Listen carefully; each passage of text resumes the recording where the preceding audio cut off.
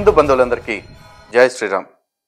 ఈరోజు మనతో పాటు ఉన్న విశిష్ట వ్యక్తి భువనేశ్వరి పీఠం పీఠాధిపతి వారు పరమ పూజ్య శ్రీ శ్రీ శ్రీ కమలానంద భారతి స్వామివారు స్వామివారు ప్రణామాలండి. మొదటగా భువనేశ్వరి పీఠం యొక్క ప్రాశస్త్యం ఏమిటి? అదేవిధంగా నేపథ్యం ఏమిటి స్వామివారు? ఈ భువనేశ్వరి పీఠము గన్నవరం విమానాశ్రయానికి ఎదురుగా ఉంది. అక్కడ ఒక డెబ్భై ఐదు ఎనభై సంవత్సరాల క్రితము అక్కడ ఒక రైతు తన పొలంలో గుమ్మడి చెట్లు గుమ్మడి పాదులు వేస్తే ఆ గుమ్మడి పాదుల తీగలు నాగపడగల్లాగా పైకి లేవటం అక్కడ ఒక పుట్ట వెలవటం అక్కడ నాగుపాములు సంచరించడం జరిగింది. కాబట్టి అక్కడ ఒక దైవీ శక్తులు ఉన్నాయని అక్కడ సమాజము భక్తులు నమ్మారు. అదే సమయంలో గన్నవరంలో గన్నవరం అప్పుడు తాలూకా అక్కడ తహసీల్దార్గా ఉన్నటువంటి రాఘవరావు గారు ఆయన భార్య జీపులో వెళ్తూ ఉంటే అక్కడ విమానాశ్రయం దగ్గరికి వచ్చినప్పుడు అది ఆగిపోవటం. ఆ తర్వాత ఆమె ఇక్కడ ఏదో తోటలాగా ఉంది చూచొద్దాం ఆ తోటలోకి రావటం. అప్పుడు ఆమె శరీరంలో ఏదో మార్పు జరిగి పూరికలాగా రావటం. అట్లా నెమ్మది నెమ్మదిగా అక్కడ అది ఒక గుమ్మడి నాగేంద్ర క్షేత్రంగా వెలిసింది. అంటే గుమ్మడి చెట్టు పడగలుగా రావటం నాగేంద్రుడు తిరగటం పుట్ట వెలవటం ఇదంతా. ఆమె ఆమె ఒంటి మీదకి ఎప్పుడెప్పుడు ఏ దేవుడు వస్తే అక్కడంతా ఒక దేవాలయం అట్లా ఒక పన్నెండు దేవాలయాలు నిర్మాణం అయినాయి. అయితే ఈ దేవాలయాల నిర్మాణం కావడానికి ముందే ఇక్కడ ఈ గుమ్మడి చెట్టు ఇలా కనపడటం ఇట్లా చూసి ఆ భూమి కలిగినటువంటి అనంత పద్మనాభం గారు ఇంకా కొంతమంది భక్తులు వీళ్ళందరూ కలిసి చిదానంద సరస్వతి స్వామివారు ఋషికేశ్లో సన్యాసం తీసుకుని అక్కడ ఉంటే ఆయన తీసుకొని వచ్చి అక్కడ ఆశ్రమాన్ని పెట్టించారు. ఆ విధంగా చిదానంద ఆశ్రమం ప్రారంభమైంది. అప్పటికే ఈ ఈమె పేరు పద్మావతమ్మ ఆమెకు శరీరం మీదకి దేవుడు రావటం జరుగుతుంటే ఈ స్వామీజీ ఆధ్వర్యంలో అక్కడ అందరూ కలిసి ఆ దేవాలయాలను నిర్మాణం చేశారు. కాబట్టి అక్కడ దేవాలయాల సమూహం అనేది ఒకటి ఈ చిదానందాశ్రమం అనేది ఒకటి రెండు సంస్థలు ఏర్పడ్డాయి. అక్కడే తర్వాత మరలా అక్కడ స్వామీజీ ఇది పీఠంగా ముందు కాలానికి సాగాలన్న ఉద్దేశంతో ఒక దండి సన్యాసి ఉండాలా అని అక్కడ ప్రతినిత్యము శ్రీచక్రార్చన జరగాల అని అందుకు అనుగుణంగా దశ విద్యల్లో ఉండేటువంటి నాలుగవ అమ్మవారు భువనేశ్వరి అమ్మవారు భువనేశ్వరి అమ్మవారిని ప్రతిష్ఠ చేసి అక్కడ ఈ సన్ ఒక సత్యానంద భారతి స్వామి వారిని తీసుకొచ్చి పీఠాధిపతిని చేసి ఇప్పుడు పంతొమ్మిది వందల యాభై రెండు నుంచి శ్రీచక్రార్చన ఇవన్నీ ప్రారంభమై జరుగుతూ ఉన్నాయి. అట్లా ఒక పరంపర ఉంది. నేను ఇప్పుడు ఆ పీఠానికి ఆరో పీఠాధిపతిని. అట్లా మనకు అద్వైతానికి సంబంధించి శృంగేరి కళ్యాణానంద భారతి స్వామివారి సంప్రదాయం అంటారు. దానికి సంబంధించినటువంటి పీఠంగా అది నడుస్తూ ఉన్నది అక్కడ చాలామందికి ప్రతినిత్యం నిరంతరం అన్నదానం చేశారు ఆ రోజుల్లోనే. ఆ రోజుల్లోనే అన్నదానం చేశారు పక్కన బ్రిటిష్ ప్రభుత్వం ఉన్నప్పుడే కుష్టు హాస్పిటల్ ఉంటే ఆ ఆసుపత్రిలో ఉండే వైద్యం తీసుకునేటువంటి కుష్టు రోగులకి మన ఆశ్రమ ప్రాంగణంలో కూర్చోబెట్టి వాళ్ళందరికీ కూడా భోజనాలు పెట్టేవాళ్ళు. ఆ విధంగా వాళ్ళకు కూడా సేవ చేస్తూ అక్కడ ఉండే పేదవాళ్ళకి సేవ చేస్తూ అక్కడ సమాజాన్ని అంటే ఆ రోజుల్లో ఉండే కరువు కాటకాలు పేదరికం అక్కడ పది మందికి మనం ఏ రకంగా సహకరించవచ్చు అనే పద్ధతిలో అక్కడ ఉన్నటువంటి పీఠాధిపతులు సేవ చేశారు. అది ఆ- ఆ పీఠాన్ని నేను తీసుకోవటం జరిగింది. నేను ఇక్కడే హైదరాబాద్లో ఉండేవాడిని. అయితే వాళ్ళు ఆహ్వానించిన తర్వాత ఇక్కడి నుంచి నేను అక్కడికి వెళ్ళాను. కానీ హైదరాబాద్లో ఉన్నప్పుడే మీరు దేవాలయాల పరిరక్షణ కోసం చాలా పెద్ద ఉద్యమాన్ని ప్రారంభించారు. ఉద్యమాన్ని ప్రారంభించడమే కాదు ఇప్పుడున్న బహుశా చాలామందికి తెలుసో తెలీదు నాకు తెలియదు కానీ ఏ రాజకీయ నాయకుడు చేయనంత ప్రయత్నము ప్రయాస పోరాటం మీరు చేశారు? సుమారు పదివేల కిలోమీటర్లు రెండు తెలుగు రాష్ట్రాల్లో పాదయాత్ర చేశారు. ఆల్మోస్ట్ గ్రామాలే చూసుకుంటే ఫిఫ్టీ పర్సెంట్ గ్రామాలు అంటే దాదాపు పదివేల గ్రామాలు మీరు పర్యటన చేశారు. ఇది మా ఆషామాషి విషయం కాదు. ఆ పర్యటనలో మీరు గమనించిన అంశాలు ఏమిటి స్వామివారు ఒకటేంటంటే అసలు ఇలా వెళ్ళడానికి నేను పాదయాత్ర చేయడానికి ఒక కారణం ఉంది. రెండు వేల నాలుగు రెండు వేల ఐదు ఆ ప్రాంతంలో దేవాలయ పరిరక్షణ ఉద్యమాన్ని ప్రారంభించాం. ఇప్పుడు నేను ఆ ప్రయత్నం చేయడానికి పూర్వము దేవాలయాల గురించి మాట్లాడడం అంటే కేవలం అర్చకులే మాట్లాడేవాళ్ళు. అంటే ఆంధ్రప్రదేశ్ అర్చక సమాఖ్య తప్పితే బయట దేవాలయ వ్యవస్థ గురించి ఒక ఉద్యమం లేదు. కానీ అర్చక సమస్యలతో సహా మొత్తము దేవాలయ వ్యవస్థ దేవాలయాల భూములు వీటిని సరి చేసుకోవాలా అనేటువంటి ఒక ఉద్దేశంతో ప్రారంభించబడిన ఉద్యమం ఇది. అప్పుడు ఏంటంటే ఈ అప్పటికి రెండు వేల నాలుగు రెండు వేల ఐదులో అలా ప్రయత్నం చేస్తున్న సందర్భంలో అప్పుడు ప్రిన్సిపల్ సెక్రటరీగా ఐవి సుబ్బారావు గారు ఉన్నారు. ఆయన కలిసినప్పుడు మాట్లాడుతూ మాట్లాడుతూ ఉంటే ఆయన ఒక మాట అన్నారు. మీరు దేవాలయాల గురించి ఇన్ని మాటలు మాట్లాడుతున్నారు. అసలు గ్రామాల్లో దేవాలయానికి పోయే మనిషి ఎక్కడ ఉన్నాడు అని అడిగారు ఆయన. అప్పుడు నేను అప్పుడు దాకా ఇక్కడ దేవాదాయ శాఖ దేవాదాయ శాఖ కార్యాలయం ఇక్కడ అధికారులు ఈ స్థాయిలో ఆలోచిస్తూ ఉన్నాం. దృష్టి అంతా ఇటుండింది ఒక్కసారి ఆ మాట విన్న తర్వాత దృష్టి కిందికి వెళ్ళింది. కాబట్టి అసలు విషయం మనం సమాజంలోనే దేవాలయాల గురించి చైతన్యాన్ని తీసుకురావాల్సి ఉంది. అసలు సగటు హిందువుకి దేవాలయం ఎందుకు? ఉండాలి ఏం చేసుకోవాలనే విషయం మనం కింది నుంచి మొదలు పెట్టాలా అనే ఆలోచన వచ్చి అప్పుడు బాసర నుంచి మొదటి పాదయాత్ర ప్రారంభం చేసి తిరుమలకి వెళ్ళడం. రెండో పాదయాత్ర శ్రీకూర్మం నుంచి బయలుదేరి మళ్ళీ తిరుమలకి వెళ్ళడం. మూడోది ఉజ్జయిని మహంకాళి దేవాలయం మన సికింద్రాబాద్లో ప్రారంభించి ఈ సికింద్రాబాద్ ప్రాంతంలో ఉండేటువంటి దేవాలయాలన్నీ చుట్టటం ఇవి చేశాం. దాంట్లో ప్రధానమైన ఉద్దేశం ఏంటంటే మన దేవాలయాన్ని మనమే కాపాడుకోవాలి. ఇప్పుడు ఒక ఊరిలో ఒక ట్రాన్స్ఫారం కాలిపోతే రైతులు సబ్స్టేషన్ దగ్గర ధర్నా చేస్తున్నారు. పాఠశాలకు ఉపాధ్యాయుడు రాకపోతే ఉపాధ్యాయుడు నిలదీస్తున్నారు. మరి దేవాలయంలో అర్చకుడికి జీతం ఇవ్వకపోతేనో దేవాలయంలో శివరాత్రిలో లేకపోతే సంక్రాంతిలో చేయకపోతేనో మరి హిందువులు అక్కడ పోయి ఈవో నిలదీయాలి కదా? ఖచ్చితంగా. లేకపోతే అక్కడ పాలక మండలిని నిలదీయాలి కదా? ఏంటి కార్యక్రమం జరగలేదని. కాబట్టి ఒక సబ్స్టేషన్ గురించి ఒక పాఠశాల గురించి ఒక గ్రంథాలయం గురించి లేకపోతే ఇంకొక ఇంకొక వ్యవసాయ శాఖల గురించి ఉండేటువంటి చైతన్యము దేవాలయాన్ని గురించి కూడా హిందూ సమాజంలో ఉండాలి. మీరు ఈ విధంగా మీ దేవాలయాన్ని కాపాడుకోవాలన్న విషయాన్ని చెప్పటం ఒకటి. అసలు మన హిందూ ధర్మంలో పురాణాల్లో కానీ ఎక్కడ కానీ శాస్త్రాల్లో కానీ దేవాలయాన్ని గురించి ఏమేం చెప్పారు? ఈ విషయాన్ని అవగాహన కలిగించటం. ఓకే. అట్లా ఏంటంటే మొదటి నుంచి రెండు విషయాలు మన దేవాలయాలు మనమే కాపాడుకోవాలి. మొదటి నినాదం. రెండోది అంటే సంపూర్ణ దేవాలయ గ్రామ సందర్శన గ్రామం. ఓకే. అంటే ఆ గ్రామంలో ఒక వంద కుటుంబాలు ఉన్నాయనుకోండి ఈ వంద కుటుంబాలు దేవాలయానికి వెళ్ళాలి. హిందువు కనుక అయి ఉంటే. హిందూ అయ్యి ఉంటాయి ఆ. ఉమ్. అంటే రామాలయం వెళ్ళొచ్చు శివాలయం వెళ్ళొచ్చు గ్రామదేవ దేవాలయం వెళ్ళొచ్చు. కానీ ఏదో ఒక దేవాలయంతో సంబంధం లేకుండా హిందూ ఉండొద్దు. ఉండదు ఇది సమాజంలో ఒక చైతన్యం రగిలించాలన్న ఉద్దేశంతో పాదయాత్ర చేయటం అద్భుతం. ఆ పాదయాత్ర సరిగ్గా నూరో రోజు హైదరాబాద్కి వచ్చాం. బాసర్లో ప్రారంభించి నిజామాబాదు కరీంనగర్ వరంగల్ నల్గొండ తర్వాత మెదక్ రంగారెడ్డి జిల్లా ఇటు ఈ పక్క నుంచి వచ్చి నూరో రోజు హైదరాబాదు నగరంలో అడుగుపెట్టిన రోజునే దేవాదాయ చట్టం రెండు వేల ఏడు అమెండ్మెంట్ బిల్లు అసెంబ్లీలో ప్రవేశపెట్టబడింది. ఓ. దాంట్లోనే ఈ ఆంధ్రప్రదేశ్ ధార్మిక పరిషత్ ఏర్పాటు కావడం సెక్షన్ అరవై ఐదు అంటే ఈ అర్చక మిగతా వాళ్ళకి సంబంధించినటువంటి సంక్షేమ నిధి ఏర్పాటు కావటం అదేవిధంగా ధూపదీ ధూపదీప నైవేద్య పథకం రావటం ఇవన్నీ కూడా. అయితే మొదటి నుంచే మనము ఆంధ్రప్రదేశ్ అర్చక సమాఖ్య కావచ్చు తెలంగాణ అర్చక సమాఖ్య కావచ్చు వాళ్ళతో కలిసే పనిచేసాం అంటే మనం కలిసి పనిచేయాలి విడివిడిగా. చేయకూడదు. హిందువులు ఎవరైనా సరే కలిసి పనిచేయాలనే ఉద్దేశంతో. కాబట్టి ఉమ్మడిగా చేసినటువంటి ప్రయత్నం వల్ల అవన్నీ అప్పుడు ప్రభుత్వం నుంచి మనం రాబట్టుకోగలిగాము. అసెంబ్లీలో ప్రతి పార్టీ కమ్యూనిస్టులతో సహా దేవాలయాల గురించి అర్చకుల గురించి బ్రహ్మాండమైన చర్చ జరిగింది. అప్పుడు మన ఈ చిరంజీవి గారు ఎమ్మెల్యేగా ఉన్నారు. ఓకే. ఆయన మాట్లాడారు. సిపిఎం నోముల నరసింహ గారు మాట్లాడారు.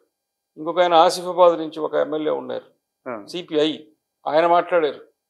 మన అన్ని పార్టీల వాళ్ళు దేవాలయాల గురించి దేవాలయాల పరిస్థితుల గురించి మాట్లాడారు. ఆ రకంగా ఏంటంటే ఒక ఒక ఒక మలుపు అది. ఖచ్చితంగా దానికోసం ఇది. ఉపయోగపడింది. అంటే తర్వాత కూడా మరలా రథయాత్ర చేసి కూడా రోజు పది పన్నెండు గ్రామాలకు వెళ్ళటం. రెండు వేల పన్నెండు నుంచి నిరంతరం తిరుగుతూనే ఉన్నాం. ఈ కరోనా వచ్చిన తర్వాత అది బ్రేక్ పడింది. ఓకే. లేకపోతే ఆగలేదు. కానీ స్వామి గారు యాక్చువల్లీ పీఠాధిపతుల మీద కావచ్చు లేకపోతే స్వామీజీల మీద కావచ్చు ఒక పెద్ద అపప్రద ఉంది. అపప్రదాన్ని ఎందుకు అంటున్నాను అంటే ఒకళ్ళని బట్టి అందరినీ నిర్ణయించేస్తున్నారు. కొంతమందిని బట్టి మిగతా వాళ్ళందరినీ ఒకేలాగా జడ్జిమెంట్ చేస్తూ ఉంటారు. ఉదాహరణకి ఇప్పుడు దేవాలయాల విషయంలో మీరు ఎంత కష్టపడ్డారు ఏంటనేది కొంతమందికి తెలిసినా చాలా మందికి తెలియదు.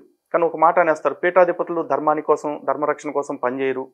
లేకపోతే దేవాలయానికి ఏదైనా కష్టం వస్తే బయటికి రారు. అని చెప్పేసి అంటారు. ఎందుకు ఆ పరిస్థితి వస్తుంది అంటారు అసలు? అంటే పీఠాల వ్యవస్థ నిర్మాణం అనేటువంటిది అంటే శృంగేరి పీఠము కంచి పీఠము. సాధికారికమైన పీఠాలు ఉన్నాయి? లేదా జీఎర్ వ్యవస్థ ఇవి? సమాజంలో బాగా ధర్మం బలంగా ఉన్నప్పుడు. హిందూ సమాజానికి ఏ సమస్యలు లేనప్పుడు ఉన్న సమస్యలన్నీ పరిష్కరించుకున్న తరువాత అప్పుడు ఏర్పడ్డాయి. ఇప్పుడు ఆదిశంకరాచార్యుల వారు ఈ దేశంలో ఈ నాలుగు పీఠాలు ఏర్పాటు చేసినటువంటి పూరి శృంగేరి ద్వారకా బదిరి అంతవరకు ఉండే సమస్యలన్నీ పరిష్కరించి వీటిని స్థిరపరిచారు. సో సమస్య పరిష్కారం అయిన తర్వాత వచ్చాయి కాబట్టి అవి అలా ఆ పని చేసుకుంటూ వెళ్ళిపోతున్నారు. ఓకే. తర్వాత ఇంకా రామానుజాచార్య వారు భగవద్ రామానుజాచార్య వారు తీసుకొచ్చినట్టు ఒక వ్యవస్థ అది నడిచిపోతున్నది.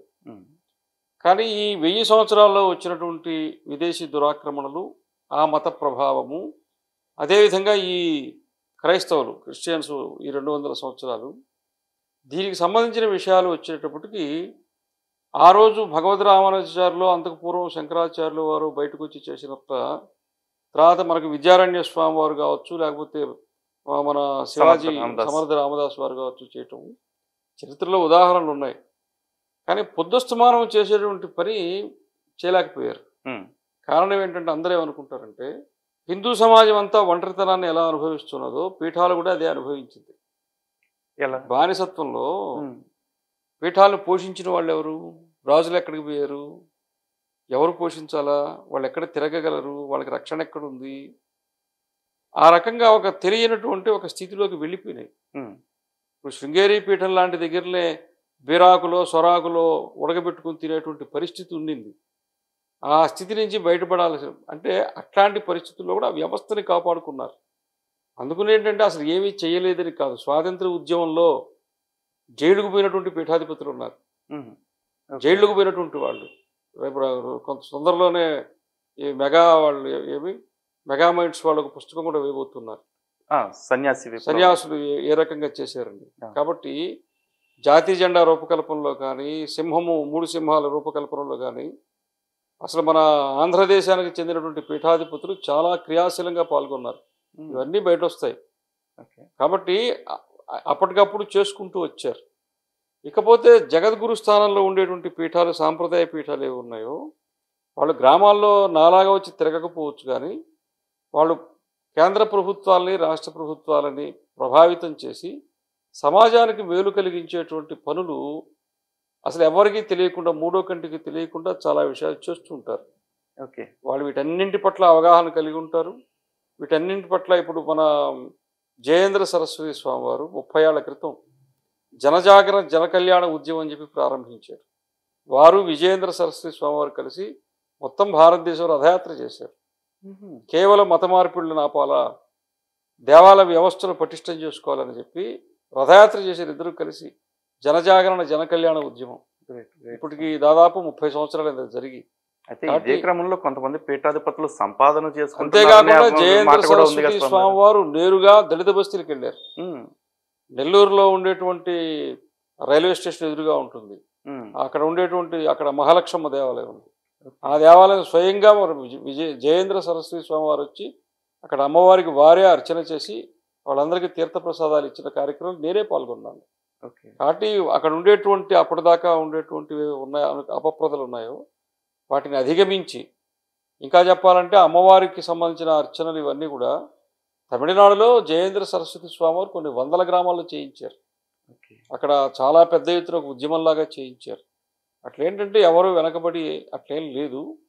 కాకపోతే మనకు సంబంధించిన ప్రచారం చేసేవాళ్ళు సమాచార లోపం కొంత సమాచార లోపం. కొంత పెద్ద సమాజం అయి ఉండడం. అవును. దీనివల్ల అంటే వెనక వేలాది గ్రామాలు ఉండడం. దీనివల్ల కొంత సమాచార లోపం ఉంది తప్ప ఎవరు ఏమి వెనకబడి ఏం లేరు. ప్రతి విషయంలో వాళ్ళ అనుకూలత ఉంది. ఇప్పుడు కన్యాకుమారి జిల్లాని కన్నీమేరీ ల్యాండ్గా మార్చాలన్నా మీనాక్షిపురాన్ని రహమత్ నగర్గా మార్చాలన్నా అప్పుడు అందరూ స్పందించారు. లేదా అయోధ్య ఉద్యమం వచ్చింది. మొత్తం భారతదేశంలో ఉండే పీఠాధిపతులు అందరూ స్పందించారు. స్పందించారు. ఇప్పుడు మన కాశీ క్షేత్రం లేకపోతే ఇంకొక సమస్య వచ్చింది. మొత్తం పీఠాధిపతులందరిది ఒకటే. ఒకటే స్వరం వినబడుతుంది. అంటే మరీ వీధిలోకి వచ్చి రోడ్డు మీదకి వచ్చి చెయ్యకపోవచ్చు కానీ వాళ్ళ వాళ్ళ స్థాయిలో వాళ్ళు ఒక మాట అన్నా కూడా దాని ప్రభావం చాలా పెద్దది ఉంటుంది. ఆ రకంగా అందరూ ఇప్పుడు నేనే తిరుగుతున్నాను అనుకోండి మీరే మీరే పనిచేస్తున్నారు లేకపోతే ఇంకొకరు ఇప్పుడు చాలామంది హిందూ సంస్థలు వచ్చినాయి. మనం ఏం చేస్తున్నాం అనే సంగతి కంచి స్వామి వారికి తెలుసు శృంగేరి స్వామి వారికి తెలుసు వాళ్ళ దగ్గర సమాచారం ఉంటుంది.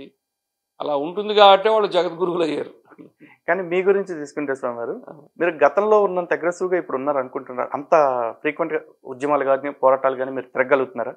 నా పర్యటన ఇప్పుడు కూడా జరుగుతున్నది ఒక కరోనాకు సంబంధించిన ఆ సమయం మినహాయిస్తే పర్యటన సాగుతున్నది. సమస్య ఏంటంటే నేను వస్తానంటే తీసుకుపోయి తిప్పే మనిషి దొరకట్లా. ఓకే. నేను ఆ మండలానికో ఆ మండలానికో ఆ మండలానికో ఫోన్ చేస్తాను బాబు నేను వస్తానయ్యా. ఒక నాలుగు రోజులు మీ మండలంలో తిరుగుతారంటే ప్రతి ఒక్కడు వాళ్ళ ఊరు వరకే తీసుకోపోతారు. పక్క ఊరికి తీసుకుపోయే శక్తి వీడికి లేదు. ఓకే. ఇప్పుడు మన ఇక్కడ రాజాపేట మండలం మీకు బానే ఉంది కదా గారు. భువనేశ్వరి పెట్టడానికి బానే ఆస్తుంది అంటారు వందల కోట్లు వేల కోట్లు. ఇక్కడ మీకు ఒక విషయం చెప్పాలి. మన పిఠాపురంలో ఒక పీఠం ఉంది ఆశ్రమం. అక్కడ స్వామి ఒక ఆయన ఉండే ఆయన సన్యాసి కాదు ఆయన బ్రహ్మచారి. కర్ణాటక నుంచి వచ్చి అక్కడ ఉండి ఆయన దత్తపీఠంలాగా ఏర్పాటు చేసి అక్కడికి ఎక్కువగా మహారాష్ట్ర కర్ణాటక నుంచి భక్తులు వస్తారు.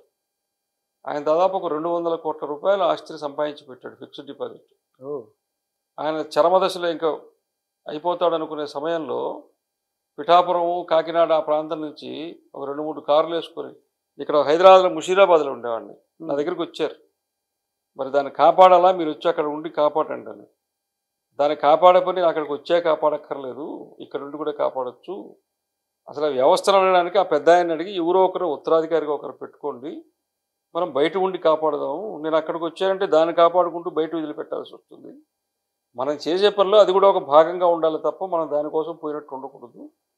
నేను ఇక్కడే ఉంటాను. మనం అది కాపాడుకుందాం అని చెప్పాం. కానీ ఆయన ఎవరు ఉత్తరాధికారిని పెట్టలేదు. తర్వాత అది ఎండోమెంట్లోకి పోయింది. ఓ అలా తిరుగుతూ తిరుగుతూ ఉండగా నాకు ఈ భువనేశ్వరి పీఠంలో ఉన్న సత్యానంద భారతి స్వామి ఫోన్ చేసి రమ్మన్నారు పోయినాను. ఇప్పుడు ఆ స- భువనేశ్వరి పీఠం ఏర్పడి ఒక ఎనభై సంవత్సరాలు అయింది ఈ ఎనభై సంవత్సరాల్లో దానికి ఆస్తులు ఏం లేవు. భూములు కానీ డబ్బులు కానీ ఏం లేవు. మాది మధ్యాహ్న భోజన పథకం ప్రకారం నడుస్తుంటుంది అన్నమాట నాకంటే ముందున్న స్వామివారు బీపీఎల్ అంటే బిలో పావర్టీ లైన్ అంటే తెల్ల రేషన్ కార్డు కూడా ఉండేది. వారు కిలోలో ఉండి ప్రతి నెల ఒక ఐదు కిలోల బియ్యం కూడా తెచ్చుకునేవారు. నేను ఇవన్నీ ఎందుకు చెప్తున్నానంటే అటువంటి పీఠాన్ని నేను తీసుకున్నా.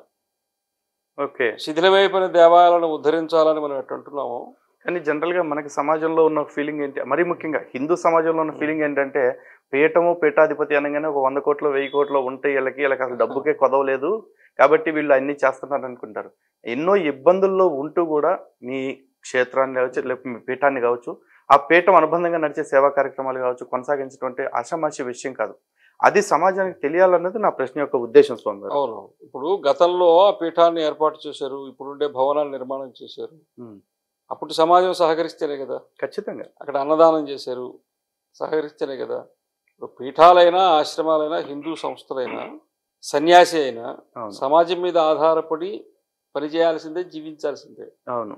హిందూ సమాజం ఆ రకంగా వీటన్నిటిని నిర్వహించడంలో ఎప్పుడు వెనకబాట్లేదు బానిసత్వంలో ఉన్నప్పుడే స్వేచ్ఛ లేనప్పుడే సంపాదించుకున్న దాంట్లో తొంభై ఐదు పైసలు పన్నులు కడుతున్నప్పుడే మన వాళ్ళు దేవాలయాలు కట్టుకున్నారు. అవును.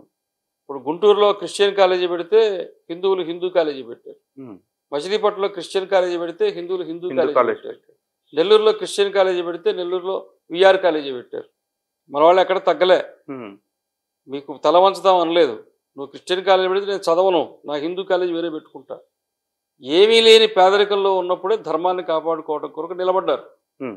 మరి ఇప్పుడు ఎందుకు నిలబడరు? నిలబడుతున్నారు కాబట్టి వందల కోట్లు పెట్టి దేవాలయం కడుతున్నారు. స్వామినారాయణ ట్రస్ట్ వాళ్ళు ఒక దేవాలయం నాలుగు వందల యాభై కోట్లు పెట్టి కడుతున్నారు. అంటే ప్రాబ్లం అదే స్వామి కట్టేవాళ్ళు కడుతున్నారు ఇచ్చే వాళ్ళకి ఇస్తున్నారు. కానీ వాళ్ళు మాత్రమే కాదు పని చేస్తున్న వాళ్ళు సమాజంలో చాలా మంది ఉన్నారు. ఈరోజు మీరు ఇప్పుడు పని చేయట్లా. దాదాపు నాకు తెలిసి ఇరవై ఏళ్ళ నుంచి నేను చూస్తున్నాను మిమ్మల్ని. అంతకు ముందు నుంచి కూడా మీరు పని చేస్తున్నారు. కానీ ఈ రోజున మీ పీఠంతో పాటు మీరు ధర్మం కోసం చేస్తున్న కార్యక్రమాలు ఏవైతే ఉన్నాయో వాటన్నిటికీ దేనికైనా సరే అంటే ఉన్న మాట చెప్తున్నా నిధులు లేకుండా వనరులు లేకుండా. పనులు జరగవు. కానీ డబ్బంతా డబ్బున్న వాళ్ళకే కాకుండా పాదయాత్ర పని చేసే వాళ్ళకి కూడా. ఇవ్వాలి కదా అంటున్నాను నేను. పాదయాత్ర చేశారనుకోండి. మన దగ్గర డబ్బులు ఉంటే ఒక యాభై మందిని తీసుకుని పోయి ఉండేవాళ్ళం అద్భుతం. అవును. ఒక వంద మందిని తీసుకుని పోయేవాళ్ళం. అవును. డబ్బులు లేవు కాబట్టి ఒక్కడనే నడిచాం. అంతే. ఒక యాభై మందిని తీసుకోపోతే వాళ్ళకి వ్యవస్థ ఏర్పాటు చేయాలి. అవును. వాళ్ళకి సంబంధించిన వ్యవహారాలు చూడాలి. భోజనం ఏర్పాట్లు చేసుకోవాలి. ప్రతి దగ్గర గ్రామంలోనే అవుతాయని కాదు. ఇట్లాంటివి లేదా దీని ప్రభావం సమాజం మీద పడాలంటే ప్రచారం చేయాలి. చెయ్యాలి అప్పుడు కూడా తక్కువేం చేయలే. గ్రామ గ్రామానికి పది పదిహేను బ్యానర్లు కట్టాము వందలాది వాల్ పోస్టర్లు వేసి చేసాం కానీ ఇంకా ఎక్కువ ప్రభావం ఉండేటట్టుగా చేయడానికి మనకి డబ్బులు అవసరం. దానికి కారణం రెండు ఉంటుంది ఒకటి మనం అడగడం చేతొచ్చి ఉండాలా ఇప్పుడు మాలాంటి హిందూ సంఘాలు ఏంటంటే ఓపెన్గా అడగగలుగుతాం. స్వామీజీలు అలా అడగలేరు. సమాజమే అర్థం చేసుకోవాల్సిన అవసరం రెండోది ఏంటంటే హిందూ సమాజంలో ఇప్పటికీ కూడా దేవాలయం కట్టడానికి కానీ యజ్ఞయాగాదులకు కానీ వాటికి డబ్బులు ఇస్తారు. ధర్మరక్షణ ధర్మ ప్ర- ప్రచారం అనే దానికి సంబంధించి ఇంకా అవగాహన పెరగల. ఇంకా ఇది మన బాధ్యత. అసలు ఇది లేకపోతే యజ్ఞం ఉండదు దేవాలయం ఉండదు పీఠము ఉండదు. ఉండదు. కాబట్టి నేను ఒక వంద రూపాయల ఖర్చు పెడుతున్నాను దేవుడి కోసం అంటే అందులో ఇప్పుడు గణేశోత్సవ మంటపాలు పెట్టి ఇప్పుడు చేస్తూ ఉన్నారు కదా ఇదే హైదరాబాద్లో ఒక్కొక్క దగ్గర కోటి రూపాయలు కూడా ఖర్చు పెడతారు. అవును యాభై లక్షలు ఖర్చు పెడతారు. మీరు దాంట్లో నుంచి ఒక ఐదు శాతం పది శాతం పక్కన పెట్టండి. ఇప్పుడు మీలా మనలాంటి హిందూ సంస్థలు పనిచేస్తున్నాయి. ఇవ్వండి. ధర్మజాగరణ వాళ్ళు పనిచేస్తున్నారు. ఇంకొకళ్ళు ఇంకొకళ్ళు పనిచేస్తున్నారు. వాళ్ళకి డబ్బులు లేవు. అవును ఖచ్చితంగా. కాబట్టి ఎక్కడెక్కడైతే లక్షలాది రూపాయలు ఖర్చు పెడుతున్నారో దాంట్లో పోనీ ఈ సంస్థలకి ఇవ్వద్దు. ఇప్పుడు హైదరాబాదే ఉదాహరణ తీసుకుందాం. గ్రామాలు కూడా వద్దు. ఇప్పుడు సికింద్రాబాద్లో కానీ చుట్టుపక్కల కాలనీలోకి వెళితే దారుణం ఏంటంటే శనివారం రోజే రామాలయంలోనో అక్కడ ఉండే దేవాలయంలో ఒక పూజారి వచ్చి నైవేద్యం పెడతాడు. ఇంటికి రెండు కార్లు ఉంటాయి. నెలకి రెండు లక్షలు మూడు లక్షలు జీతం సంపాదిస్తున్నారు. నెలకు ఒక పదివేలు ఇరవై వేలు ఇచ్చి ఒక అర్చకుడిని పెట్టుకొని రోజు పూజ చేయించుకోవాలన్న జ్ఞానం వీళ్ళకి లేదు. అవగాహన లేదు. లేదు. వీళ్ళెవరు డబ్బులు తక్కువ ఖర్చు పెట్టరు. ఒక అయ్యప్ప మాల వేసుకొని భిక్ష కార్యక్రమం చేస్తారు భజన. పడి పూజ లాంటిది పెడితే భజన ఇరవై లక్షలు ముప్పై లక్షలు యాభై లక్షలు ఖర్చు పెడతారు. పెడుతున్నారు. వెయ్యి మందికి భోజనం పెడుతున్నారు. అవును. ధూమ్ధామ్ చేస్తున్నారు. అవును స్వామి. కానీ అక్కడ రామాలయం శివాలయం ఉంటే అది మూసేసి ఉంటుంది. నిజంగా అదే అయ్యప్ప స్వామాలయం కూడా అక్కడ ఉంటే దాన్ని పట్టించుకోరు. కాబట్టి ఈ విషయాల్ని అవగాహన కల్పించాల్సిన అవసరం ఉంది. ఒకటేమో ఈ కార్యక్రమాలు జరుగుతూ ఉండటం అనేటువంటిది మంచిది ఒక మంచి మార్పు. రెండోది ఏంటంటే ఇక్కడి నుంచి కొద్దిగా మనకి ఇదిగో ఈ బాధ్యత కూడా ఉందని సమాజం గుర్తిరిగే రకంగా చైతన్యపరచవలసిన అవసరం అయితే ఉంది. మెయిన్ ఆలయం బాగుండాలంటే అర్చకుడు బాగుండాలి స్వామి గారు కానీ ఈ రోజున ఆలయం కడుతున్నాము అనగానే మీరు అన్నట్టు లక్ష ఇస్తారు పది లక్షలు ఇచ్చేవాళ్ళు ఉన్నారు కానీ అర్చకుడు ఇబ్బందుల్లో ఉన్నాడు లేదా అర్చకుడు పస్తులు పడుతున్నాడు అని చెప్పేసి అంటే అర్చకుడిని ఆదుకోవడానికి ఎవరు రావట్లా? ఈ పరిస్థితి ఎందుకు వచ్చిందంటారు? అర్చకుల స్థితిగతులు ఎందుకు చాలా మార్పులు వచ్చాయి. ఉమ్, దేవాలయము అనేది సమాజాన్ని కలిపేది. దాన్ని ఎక్కడి దాకా తీసుకొచ్చామంటే అసలు సమాజాన్ని విడదీసే దానికి తీసుకొచ్చాం. అవును. ఎందుకంటే ఇప్పుడు రామాలయం ఉందనుకోండి రామాలయం ఉన్నా విష్ణువాలయం శివాలయం ఏది ఉన్నా ఆ గ్రామంలో ఉండే అన్ని కులాల వాళ్ళు అక్కడ ఏదో సేవ చేసుకున్నారు. వాళ్ళకి మాన్యాలు ఇచ్చారు. ఇప్పుడు అసలు దాని ఉద్దేశాన్ని దాని స్ఫూర్తిని మర్చిపోయి రెడ్ల రామాలయం బ్రాహ్మణ రామాలయం వైశ్యుల రామాలయం బలిజల రామాలయం యాదవుల రామాలయం మాలల రామాలయం మాదిగల రామాలయం. ఏడు కులానికి ఒక రామాలయం కట్టేసుకున్నాడు. మొత్తం సమాజాన్ని కలిపేదానికి ప్రయత్నం చేసిన వాడు రాముడు. ఇప్పుడు అందరూ కలిసి ఆయన్ని విడదీసి ఎవరు రాముడు వాళ్ళు పెట్టేసుకున్నారు. ఎవరు కృష్ణుడు వాళ్ళు పెట్టేసుకున్నారు. ఇది అంటే మనం ఏమనుకుంటామంటే విదేశీ దురాక్రమణల వల్ల యూరోప్ ఖండంలో ఉండే దేశాలు ఆఫ్రికా ఖండంలో ఉండే దేశాలు పూర్తిగా ఒక మతం నుంచి ఇంకొక మతంలోకి మారిపోయినాయి. ఒక మెసపటోమియా నాగరికత కావచ్చు ఒక గ్రీకు నాగరికత కావచ్చు అంతరించిపోయినాయి అనుకుంటాం. మన భారతదేశంలో ఆ రకంగా అంతరించిపోలేదు కానీ కేవలము నామమాత్ర అవశిష్టంగా మిగిలి ఇప్పుడు ఉన్నది ఉన్నట్టుగా ఇదేదో హిందుత్వం ఉన్నదని మనం భావించడానికి లే. లేదు ఆ సమాజంలో ఆ ఆ దాడులకు సంబంధించినటువంటి ప్రభావము ఆ తాడనము పీడనము ఇప్పుడు కూడా మనకి అది ప్రతిబింబిస్తున్నది. కాబట్టి వీటిని గుర్తించి మనం ఈ సమాజానికి ఎంత ఎరువు వేయాలా ఎంత నీళ్ళు పోయాలా ఎంత పెంచాలా అనేది ఆలోచించాలి. ఆ ప్రభావం ఇప్పుడు మనకు స్వాతంత్రం వచ్చి ఒక డెబ్బై ఏళ్ళు ఎదుర్కోండి. ఈ డెబ్బై ఏళ్ళలో ఇంకా నాలుగు దెబ్బలు కొట్టారు తప్ప దీన్ని ఏదో చేయాలని ఆలోచన ఎవరు చేశారు? ఎవ్వరు లేదు అవకాశం వచ్చిన ప్రతి ఒక్కళ్ళు హిందుత్వం మీద దాడి చేశారు. అసలు హిందుత్వం మీద దాడి చేయడం అనేది ఒక ఫ్యాషన్.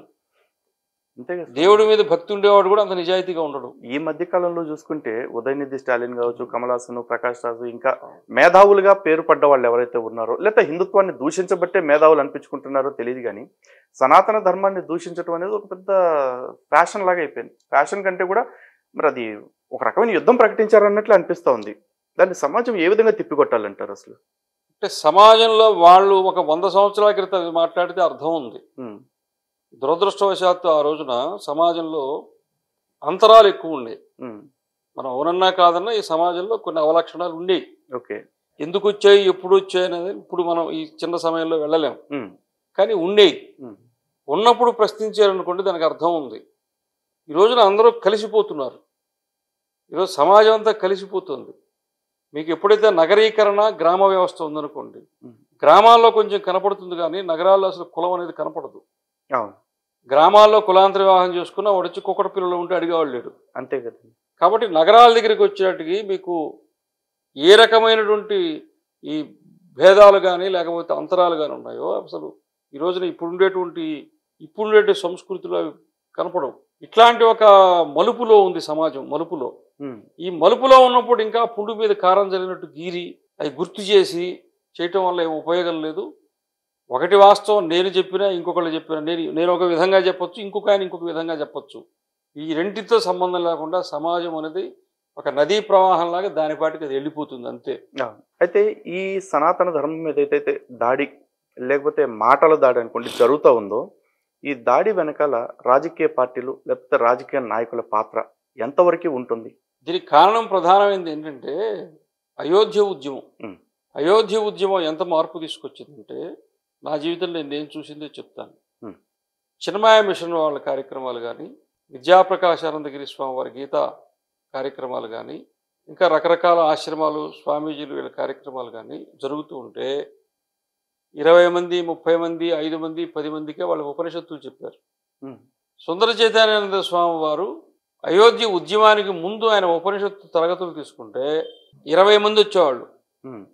అయోధ్య ఉద్యమం అంటుకున్న తర్వాత అయిపోయిన తర్వాత అయోధ్య ఉద్యమం పూర్తయిన తర్వాత అదే సుందర చైతన్యానంద స్వామి ఉపన్యాసం పెడితే లక్ష మంది వచ్చారు. దానికి కారణం ఏంటంటే అయోధ్య ఉద్యమం వల్ల హిందూ సమాజంలో వచ్చిన పెను మార్పు ఏమిటంటే మొత్తము హిందూ సమాజంలో ఉండే ప్రతి కులస్థుడు ఇది నాది అనే భావనలోకి వచ్చాడు. అంతకుముందు రామాయణం నాదనే భావన లేదు. అవును. భారతం నాదనే భావన లేదు. కారణం ఏంటంటే ముందు తిండి లేదు. చదువు లేదు.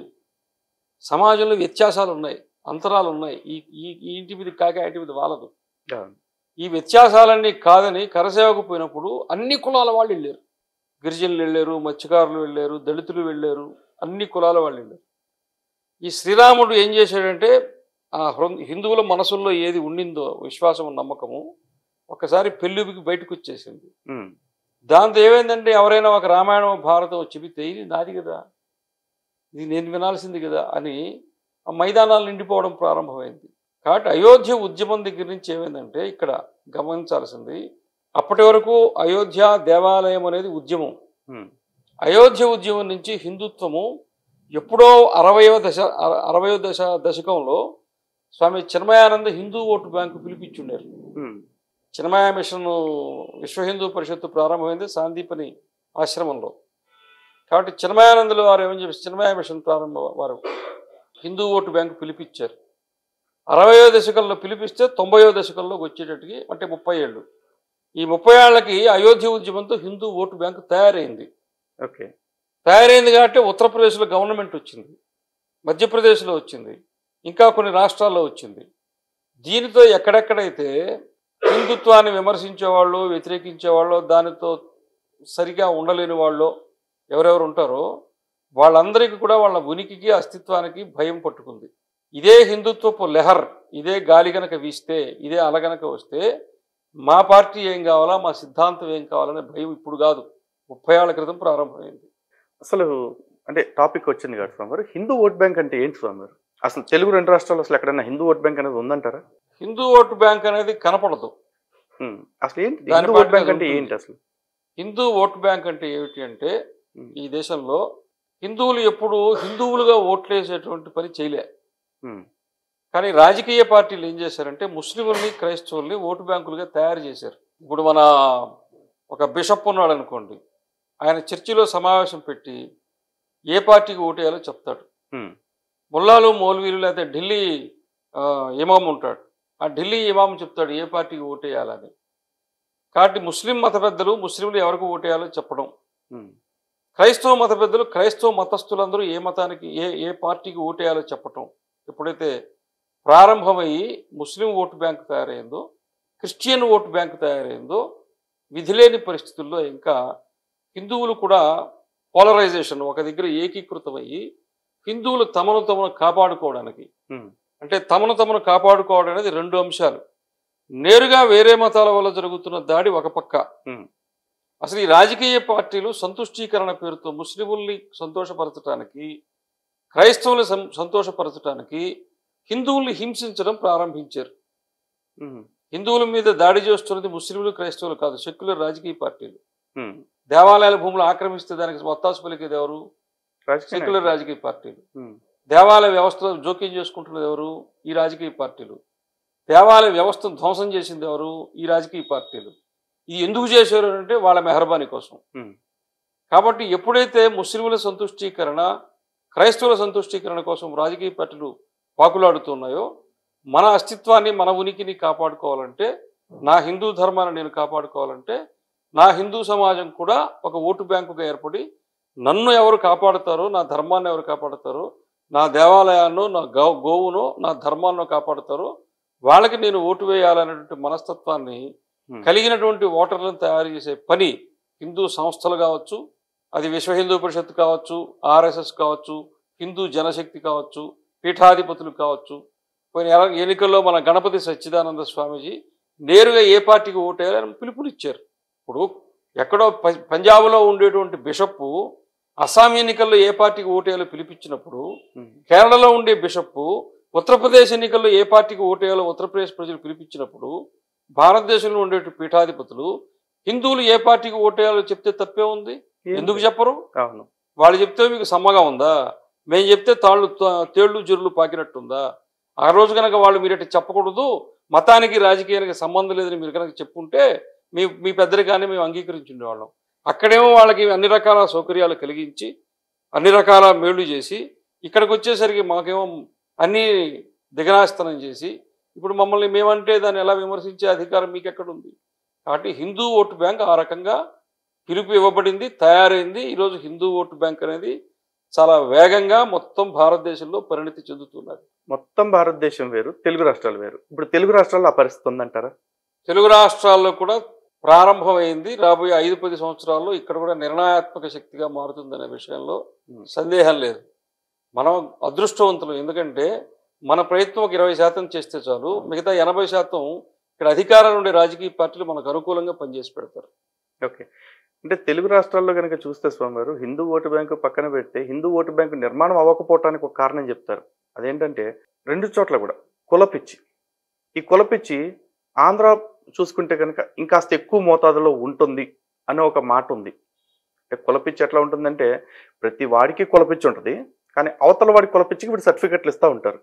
ఈ కులపిచ్చితోటి హిందుత్వాన్ని నాశనం చేస్తున్న వాళ్ళు చాలా మంది ఉన్నారు. ఇప్పుడు సమాజాన్ని అర్థం చేసుకోవటంలో. లేకపోతే దానికి సంబంధించిన అవగాహన కలిగి ఉండటంలో కొద్దిగా మారాల్సిన అవసరం ఉంది. అంటే అర్థం అంటే విషయం ఏంటంటే అసలు భారతదేశంలో కులం అనేది విషయం అంశం లేకుండా ఏ రాష్ట్రం ఉంది? బీహార్లో ఉండే కులతత్వం కంటేనా? ఉత్తరప్రదేశ్లో ఉండే కులతత్వం కంటేనా? ఒరిస్సాలో ఉండే కులతత్వం కంటేనా? బెంగాల్లో ఉండే కులతత్వం కంటేనా? కేరళలో కేవలం కులాల పేరు మీద పార్టీలు ఉన్నాయి తమిళనాడులో కులాల పేరు మీదనే పార్టీలు ఉన్నాయి అక్కడ లేని కులతత్వం ఆంధ్రాలో ఎక్కడి నుంచి వచ్చింది? మనం ఇక్కడే ఎక్కువ ఉంది అనుకుంటున్నాం. ఇప్పుడు కాదు ఇరవై ముప్పై ఏళ్ళ క్రితం అంటే మనం అన్ని రకాల సాహిత్యం చదువుతుంటాం కదా. వాళ్ళు ఎవరో దళితులు వాళ్ళ కష్టార్జితంతో అంత నూనె తెచ్చుకొని పిండి కలుపుకొని పూరి చేసుకొని తింటుంటే నువ్వు దళితుడు నీకెందుకురా పూరి? అని చెప్పి పట్టుకొని కొట్టిన పరిస్థితులు బీహార్లో చూసాం. ఉత్తరప్రదేశ్లో ఎటువంటి పరిస్థితులు నిలబడడం దాకా ఏ ఏ కుల సమీకరణలు ఏ రాజకీయాలు జరిగాయో మనం చూసాం మిగతా రాష్ట్రాల్లో ఏం జరుగుతున్నాయో మనం చూస్తున్నాం. మరి ఆంధ్రప్రదేశ్లో ఎందుకు చెప్తారు? ఆంధ్రప్రదేశ్లో కూడా ఉంది. ఆంధ్రప్రదేశ్లో మాత్రమే లేదు తెలంగాణలో కూడా ఉంది. ఇదే హైదరాబాద్ సిటీ దాటి మనం సంగారెడ్డికి పోతుంటే ఇప్పుడంటే కలిసిపోయింది. ఈ మొత్తం అంతా పటాన్చూరి ఇదంతా అన్ని కలిసిపోయినాయి. సంగారెడ్డికి పోయే లోపలే రెండు క్లాసుల పద్ధతి ఉండే గ్రామాలు ఉన్నాయి మనం కంటితో చూచాం. రెండు గ్లాసుల పద్ధతి ఉండింది. అంటే వేరే అర్థమైంది. వస్తే వాళ్ళు టీ కానీ అది వేరే తాగేటట్టుగా ఇక్కడ కులతత్వం లేదా? ఏ మనకు ఇష్టం ఉన్నా లేకపోయినా ఒక మాట చెప్పాలి. కృష్ణా జిల్లాలోనో నెల్లూరు జిల్లాలోనో ఇంకో దగ్గర ఇంకో దగ్గర ఆదర్శ వివాహాల పేరుతోటి కులాంతర వివాహాలు కమ్యూనిస్టు పార్టీ వాళ్ళే కులాంతర వివాహాలు చేసారు అన్నో ఇన్నో. అవును. గత యాభై అరవై డెబ్బై ఏళ్ళలో ప్రేమ వివాహాలని తర్వాత వచ్చాయి వాళ్ళ పార్టీ సిద్ధాంతం ప్రకారం వాళ్ళు ఈ కులస్థం ఆ కులస్తులు పెళ్ళి చేసుకున్నారు దండలు మార్చుకొని. తెలంగాణలో అది కూడా జరగల. తెలంగాణలో ఈరోజు కులాంతర వివాహం చేసుకుంటే అమ్మాయినో అబ్బాయినో కొట్టి చంపేస్తున్నారు. మరి ఇక్కడ కులతత్వం లేదా? సో ఇండియా మొత్తం ఉంది. మొత్తం భారతదేశం ఉంది. దాని ఫలానా దగ్గర ఉందని చెప్పి జూమ్ చేసి చూపక్కర్లే. ఇది ఈ ఈ చట్టంలో నుంచి ఎవరు బయట లేవు. అది ఎక్కడ ఏ రూపంలో ఉన్నా అది ఉండకూడదు. తెలంగాణ అని పేరు పెట్టి చెప్పక్కర్లా ఆంధ్ర అని పేరు పెట్టి చెప్పక్కర్లా. ఇక్కడి నుంచి అమెరికాకు పోయిన తర్వాత వాళ్ళు ఏమైనా మారారా? మళ్ళీ కుల సంఘాలు పెట్టుకుని అక్కడ కూడా కమ్మ వన భోజనాలు కాపు వన భోజనాలు పెట్టుకుంటానే ఉన్నారు పుట్టుకతో వచ్చిన బుద్ధి పుడకలతో పోదంటారు. అవును. వాడు అమెరికాకు పోదు అంతరిక్షాన్ని చంద్రమండలంలో కూడా కుల సంఘం పెట్టుకుని ముందు పోయి. అంతే కదా కులం అనేది ఉంచుకోండి. కులం అనేది ఉంటుంది. నేను ఎందుకు చెప్తున్నానంటే కులం వద్దు అంటే పోయేది కాదు. పోయిన రోజుకు పోతుంది. ఇప్పుడు ఎట్లుంటుందంటే ఇది ఉండకూడదు అని అంటే వెంటనే వాడు బిగుసుకుంటాడు. లేదా ఇలాగే ఉందాం కలిసి ఉందాం అంటే కలిసి ఉంటాడు. ఉండనే కూడదంటే ఎందుకు ఉండకూడదని పెడద్రంగా మాట్లాడతారు. అరే బాబు నువ్వు కులం ఉంచుకోరా స్వామి. కాదు నా పక్కన కూర్చో. అంటే నేను పెద్దరికంతో ఇంకొకళ్ళని ఇంకొకళ్ళని చేర్చుకున్నాను అనుకోండి. ఇట్లా కొంత వాతావరణం వస్తే మారుతుంది. ఇప్పుడు ఇంకొకటి. దళితులు మిగతా కులాల వాళ్ళు అందరూ కలిసి ఉండే గ్రామాలు ఎక్కువ ఉన్నాయా తక్కువ ఉన్నాయా? ఈ రోజున ఎక్కువ గ్రామాల్లో. ఉన్నాయి. గ్రామాల్లో దేవాలయాలకు వస్తున్నారు. వస్తున్నారు. ఈ రోజున మీకు ఏ ఆంధ్ర ప్రాంతంలో ఈ కులతత్వం అని చెప్తున్నారో వాళ్ళు రాజులు కావచ్చు కమ్మవారు కావచ్చు రెడ్లు కావచ్చు వెలమలు కావచ్చు ఏ గ్రామంలో ఈ అగ్రకులాల వాళ్ళు ఉంటున్నారో ఏదో ఒక కులం. ఏ కులం అగ్రకులం వాళ్ళు ఆ గ్రామంలో ఉండనండి కానీ అక్కడ రామాలయాలు రాత్రి మైకి పెట్టుకుని భజన చేసేది దళితులే. వీడు ఓడుగా దేవాలయానికి? నేను చాలా చెప్తుంటానండి పోయినప్పుడు అవును. దళితులు దేవాలయానికి రానియట్లేదు మీరు అనుకుంటున్నారా? వాళ్ళు ఏం చెప్తున్నారంటే ఒరే మేమే దేవాలయం పోవట్లేదు మీరు ఎందుకు వస్తారంటున్నారు వీళ్ళు. వీడు ఓడు. అవును. ఎవరు? ఎవరైతే మీరు దేవాలయానికి రావద్దు అంటున్నారో వీడు పోతున్నారా? మరి ఎందుకు అక్కడ దేవాలయాలు తాళాలేసి ఉన్నాయి? అవును. అర్చకుడు ఎందుకు ఊరిదిలు పెట్టిపోయినాడు? కాబట్టి నేనే పోవట్ల దేవాలయానికి నువ్వు ఎందుకు వస్తావు? ఈడు పోవట్ల వాడు ముగ్గురు ఆ, కలిసి మొత్తం హిందుత్వానికి తాళం వేసి పెట్టారు. అది. అందుకని ఏంటంటే సమాజంలో ఉండేటువంటి వాస్తవిక పరిస్థితిని మనం ఊర్లోకి పోతే అర్థమవుతుంది. ఓకే. దీనికి రెండు లక్షణాలు ఉంటాయి ఒకటి ఇది మన సమాజము. మొదటిది ఇది మన సమాజం రెండు ఆ సమాజాన్ని మనం ఎటువంటి నిబంధనలు లేకుండా ప్రేమించాలి. ఓకే. నన్ను గుర్తించినా గౌరవించినా మర్యాద ఇచ్చినా ఇవ్వకపోయినా నన్ను స్వీకరించకపోయినా నేను ఈ సమాజాన్ని ప్రేమించడం మర్చిపోవద్దు. ఇది నాది. ఆ పద్ధతిలో మనం అడుగు పెడితే ఈ సంవత్సరం కాకపోతే వచ్చే సంవత్సరం మన మాట వింటాడు. అంతే స్వామి. కాబట్టి సమాజంలో మార్పు అనేది ఒక నేత పనివాడు ఒక పద్మశాలీయుడు శాలీయుడు ఈ వస్త్రం మగ్గ మీద పెట్- పెట్టేదానికి ముందు పొడుగేస్తారు కదా.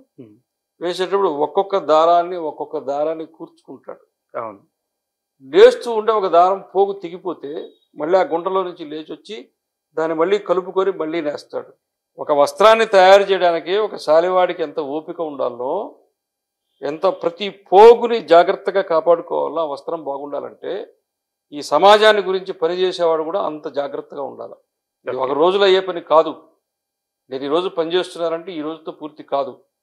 నేను వంద జన్మలన్నా ఎత్తాలి ఇది. ఎందుకంటే ఈ సమాజం ఈ స్థితికి రావడానికి వెయ్యి సంవత్సరాలు పట్టింది. అంతే.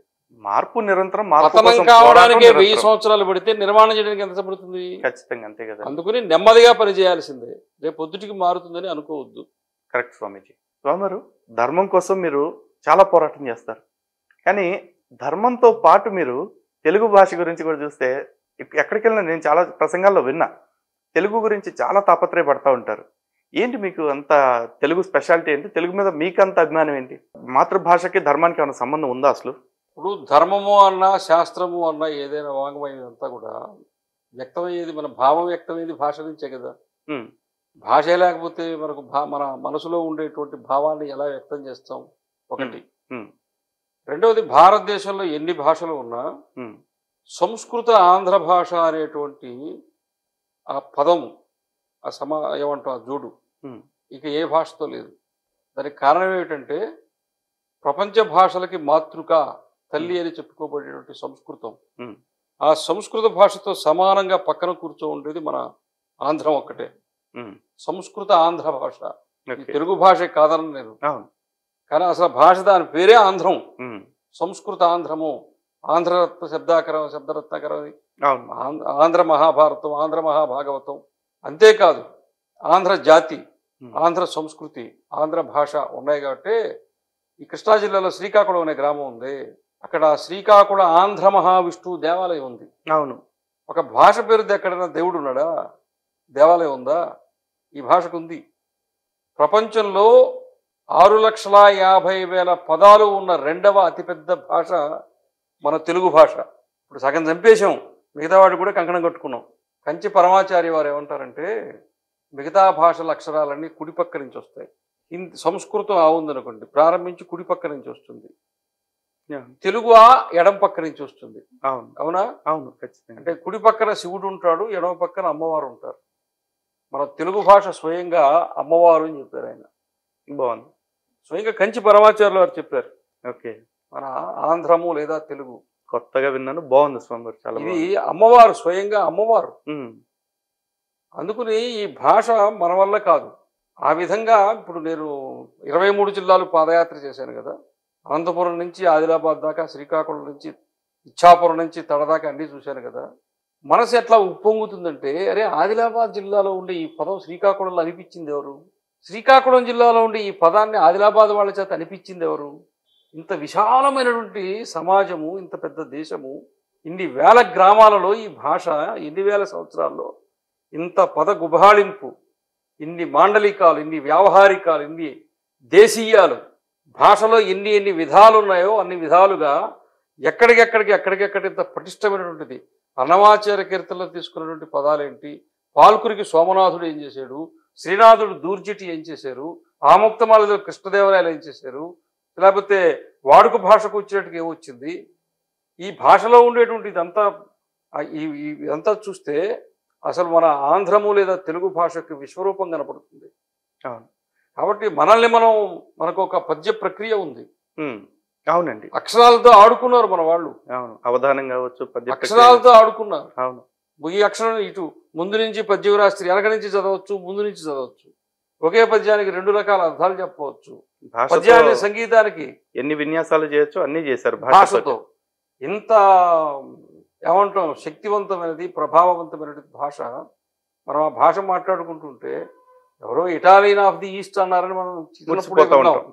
ఇంతగా ఇటలీ భాష ఎట్లా ఉంటుందో మనకు తెలియదు. తెలియదు. కానీ మురిసిపోతాం. మనం మురిసిపోతాం. ఆ ఇటలీ దేశం మన చిత్తూరు జిల్లా అంత ఉండదు. ఆదిలాబాద్ జిల్లాలో సగం ఉంటుంది. అనంతపురం జిల్లాలో సా పావు ఉంటుంది. ఆ దేశంలో ఉండే భాషని ఈ రోజున దాదాపు మొత్తం ప్రపంచంలో దాదాపు పదిహేను కోట్ల మంది మాట్లాడుతున్నారు. పదిహేను కోట్ల మంది మాట్లాడే భాషని రెండు కోట్ల జనాభాతో ఎట్లా పోలుస్తాం? మూడు. కోట్ల జనాభాతో. కాబట్టి మన భాష యొక్క పరిణతి మీకు ఇక్కడ కూడా చిన్న విషయాలు చెప్పాలి. మన భాషకి బాల వ్యాకరణం రాసిన వారు పరవస్తు చెన్నైసూరి వారు. అవును. ఆ పరవస్తు చెన్నైసూరి ఏ ఊరు అంటే చెంగల్పట్టు. ఇక చెంగల్పట్టు ఇప్పుడు ఎక్కడ ఉంది తమిళనాడులో. చెన్నై దాటి అవతలకు పోతే తమిళనాడులో ఉంది. అవును. తమిళనాడులో పుట్టినటువంటి పరవస్తు చెన్నైశ్వరి వారు బాల. వ్యాకరణం ఇచ్చారు. త్యాగరాజు గారు పుట్టింది ఎక్కడ? కాకర్ల. ప్రకాశం జిల్లా కాకర్ల. త్యాగరాజు ఏ భాషలో పాటలు కీర్తనలు రాశారు? తెలుగులో. తెలుగులో రాశారు. ఏ సంగీతంలో రాశారు? కర్ణాటక సంగీతంలో. రాశారు. పాడుతున్నది ఎక్కడ? తమిళనాడు. తమిళనాడులో.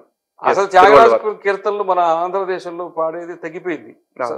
మన సంస్కృతిని మనం చాలా ఇప్పుడు తెలంగాణ ఆంధ్ర అంటున్నాం కదా. తెలంగాణలోనే సంస్కృతి కాపాడబడింది. భాష కావచ్చు జానపద కళలు కావచ్చు కానీ మీ ప్రసంగాల్లో ఎక్కువ చూస్తే ఆంధ్ర ఆంధ్ర ఆంధ్రం గొప్పది అంటారు కదా. అంటే తెలంగాణ మీద ఏమైనా వివక్ష స్వామి మీకు? నా దృష్టిలో మనం ఏంటంటే ఆంధ్ర అని అంటే ఆంధ్రప్రదేశ్ ఇంతకు ముందు కులాల టాపిక్ వచ్చినప్పుడు కూడా చెప్పారు కాబట్టి అడుగుతున్నా. లేదు లేదు. నేను ఎప్పుడు చెప్పలేదు. నా జీవితంలో సగం తెలంగాణలో గడిచింది. నేను తిరిగిన గ్రామాల్లో ఎక్కువ తెలంగాణలో తిరిగా. నేను చూడని ప్రాజెక్టు లేదు. నేను చూడని డ్యామ్ లేదు. నేను చూడని చెరువు లేదు. నేను చూడని కాలువ లేదు. నేను ఎక్కడి కొండ లేదు తెలంగాణలో. ఓకే. జల్లెడి బట్టి వదిలిపెట్టారు సార్ తెలంగాణని. ఇక్కడ ఉండేటువంటి మాండలికాలు ఇక్కడ ఉండేటువంటి భాష ఇక్కడ నిద్రలేచి సియాసత్ చదవడం దగ్గర నుంచి తెలుగు భాషలో మన ఆరుద్ర దగ్గర నుంచి నారాయణ రెడ్డి గారి దాకా అందరినీ చూసాం మనం ఇక్కడ.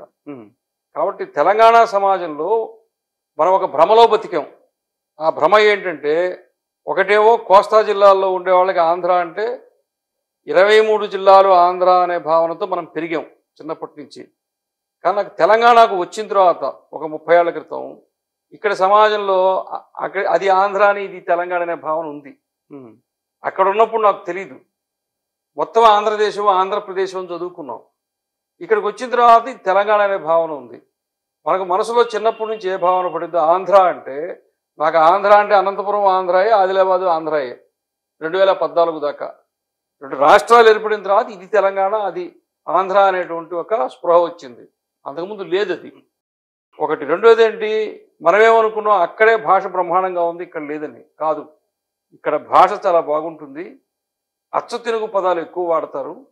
ఇక్కడ ఉండేటువంటిది సరళ స్వచ్ఛమైనటువంటి పద్ధతిలో ఒక్క అక్కడేమంటే ఇంగ్లీషు పదాలు మాత్రమే కలుస్తాయి.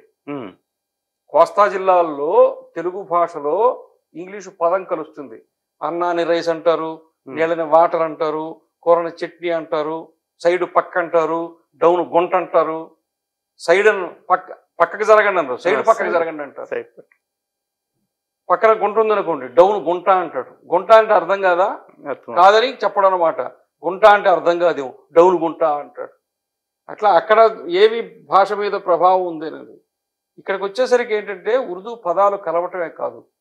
ఉర్దూ భాష యొక్క ప్రభావం వల్ల అంటే తెలుగు భాష నిషేధించారు కాబట్టి ఉర్దూ భాష మాట్లాడేటువంటి యాస ఉంటుంది పద్ధతి అది తెలుగు భాష మీద పడింది. ఓకే. అందుకని ఈ- యాస కొంచెం ఇంకొంచెం ఎక్కువ ఉంటుంది. కానీ భాషలో ఉండే పదజాలం కానీ వాక్య నిర్మాణం కానీ సాహిత్యం కానీ తెలంగాణలో అద్భుతంగా ఉంటుంది.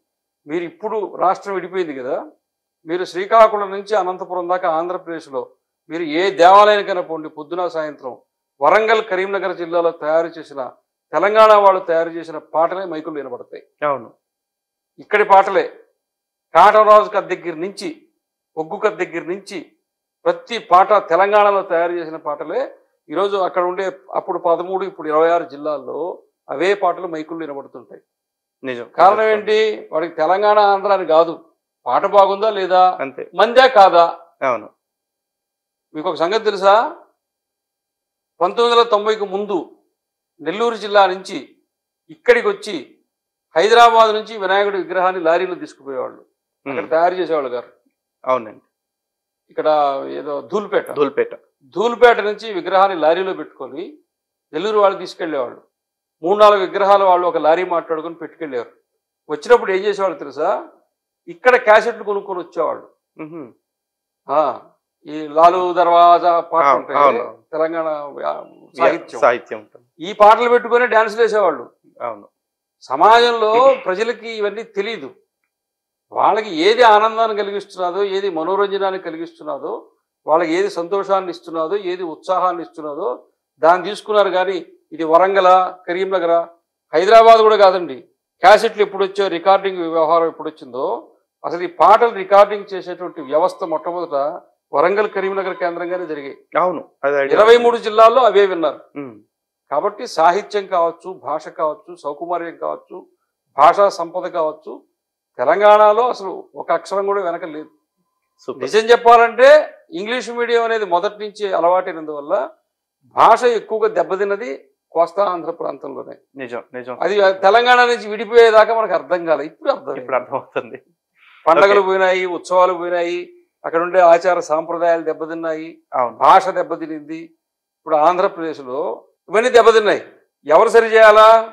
ఇక్కడ తెలంగాణలో ప్రభుత్వం రాగానే బతుకమ్మ పండుగను బతికించుకున్నారు. అవును. మేడారం జాతర జాతీయ పండుగ చేయాలంటున్నారు. ఇంకొక కార్యక్రమం ఇంకొక కార్యక్రమం చేస్తున్నారు.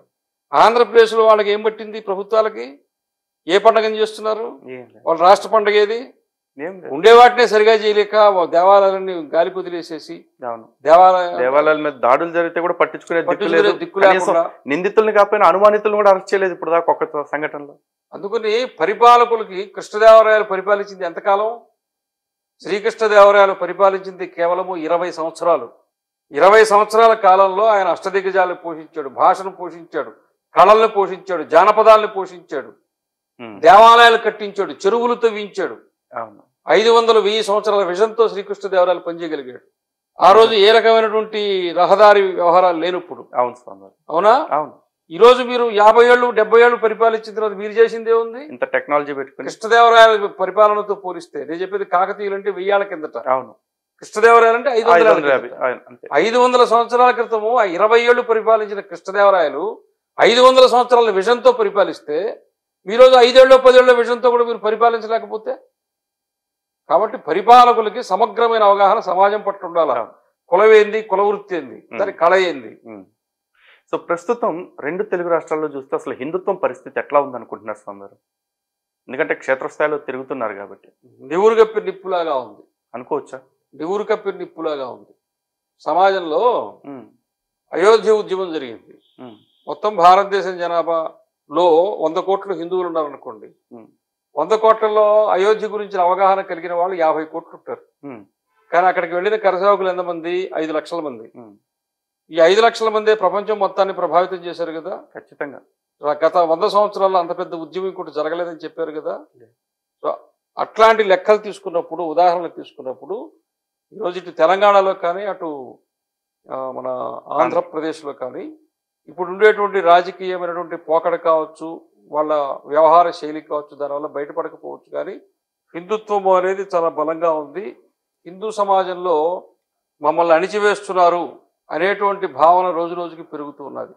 ఓకే. దేవాలయాల్లో రాజకీయ నాయకుల యొక్క జోక్యం కావచ్చు దేవాలయాల భూములు అప్పరంగా ఆక్రమించుకోవడం కావచ్చు ఇష్టారాజ్యంగా దేవాలయ వ్యవస్థలకు దొరబడి ఇప్పుడు ఈ నాలుగేళ్ళలోనే కనీసం ఐదారు దేవాలయాలు అర్చకులు గర్భగుళ్ళోనే కొట్టారు. గర్భగుళ్ళో కొట్టారు. అవును చంపేశారు కదా హైదరాబాద్ తెలంగాణ వరంగల్లో అయితే. వరంగల్లో ఏకంగా వేరే మతస్థులు వచ్చి అర్చకుడిని దేవాలయంలో చంపేశారు. చంపేశారు. ఇక్కడ మన సికింద్రాబాద్లో ఒక అర్చకుడు ఊరేసుకొని చచ్చిపోయాడు. చనిపోయారు. కాబట్టి భద్రత లేని ఒక స్థితి. వేరే మతాలకు చెందింది అయితే వెంటనే పరిగెత్తుకుంటూ పోయి చేస్తున్నారు. హిందువుల దగ్గరికి వచ్చేటట్టుకి రాజకీయ పార్టీల వాళ్ళు అసలు దాన్ని గుర్తించడం లేదు. అసలు తీసుకోవటం. తీసుకోవటం లేదు. ఈ హిందూ సమాజానికి బాధ కలిగిస్తున్నది ఇప్పుడు రాజకీయంగా అనే విషయంగా నేను చెప్పను. మనం ఒకటి గుర్తుపెట్టుకోండి హిందూ సంస్థలో మీరైనా మేమైనా ఏ ఒక్క రాజకీయ పార్టీ అయినా సరే మనం సమాన దూరం పాటించాల్సిందే. ఎందుకు అంటే హిందువులు అన్ని పార్టీలో ఉంటారు. ఇందుకే మీరే పార్టీ స్వామి? మీరు BJP Swami TDP Swami YCP Swami? నేను హిందూ సమాజానికి చెందిన స్వామిని. హిందూ సమాజానికి ఎవరు భరోసా ఇస్తారో ఆ పార్టీ నాది ఓకే. మేము దేవాలయాల భూములు కాపాడుతామని ఎవరు చెబితే దేవాలయ వ్యవస్థని కాపాడుతామని ఎవరు చెబితే మత మార్పులను ఈ రోజే ఆపుతామని ఏ పార్టీ చెబితే ఆ పార్టీ నాది. అంతే. అంతే. కానీ ఈ రోజున తిరుపతి సభకి మీరు కూడా వచ్చారు. తిరుపతి సభలో మనం ఎక్కడ రాజకీయ ప్రస్తావన ఎవరూ చేయలేం. కానీ ఆ సభకు వచ్చిన వాళ్ళ మీద కూడా నిందలేస్తున్నారు. మీరు ఆ పార్టీ ఈ పార్టీకి వ్యతిరేకం ఆ పార్టీకి అనుకూలం అని చెప్పేసి. ఇప్పుడు నన్నే ఎవరికి. వ్యతిరేకంగా మాట్లాడాలి? ఇప్పుడు నన్నే ఉదాహరణకు తీసుకోండి. రాజశేఖర రెడ్డి గారు ముఖ్యమంత్రిగా ఉన్నారు. మనం ఆ ప్రభుత్వానికి వ్యతిరేకం. అంతే. రోషే గారు ముఖ్యమంత్రిగా ఉన్నారు. దానికి వ్యతిరేకం. అంటే ప్రభుత్వానికి పార్టీకి కాదు. మన అంశాన్ని లేవనెత్తడానికి మాట్లాడటానికి మనం మాట్లాడే మాట ఆ ప్రభుత్వానికి వ్యతిరేకం అనేటువంటి స్వరంగానే వినబడుతుంది. అంతే. మొన్న రా- రాష్ట్ర విభజన అయిన తర్వాత అక్కడ చంద్రబాబు నాయుడు గారు ముఖ్యమంత్రి అయినారు. మనమేం వదిలిపెట్టలేదే? సదావర్తి భూముల విషయంలో రోడ్డెక్కాం.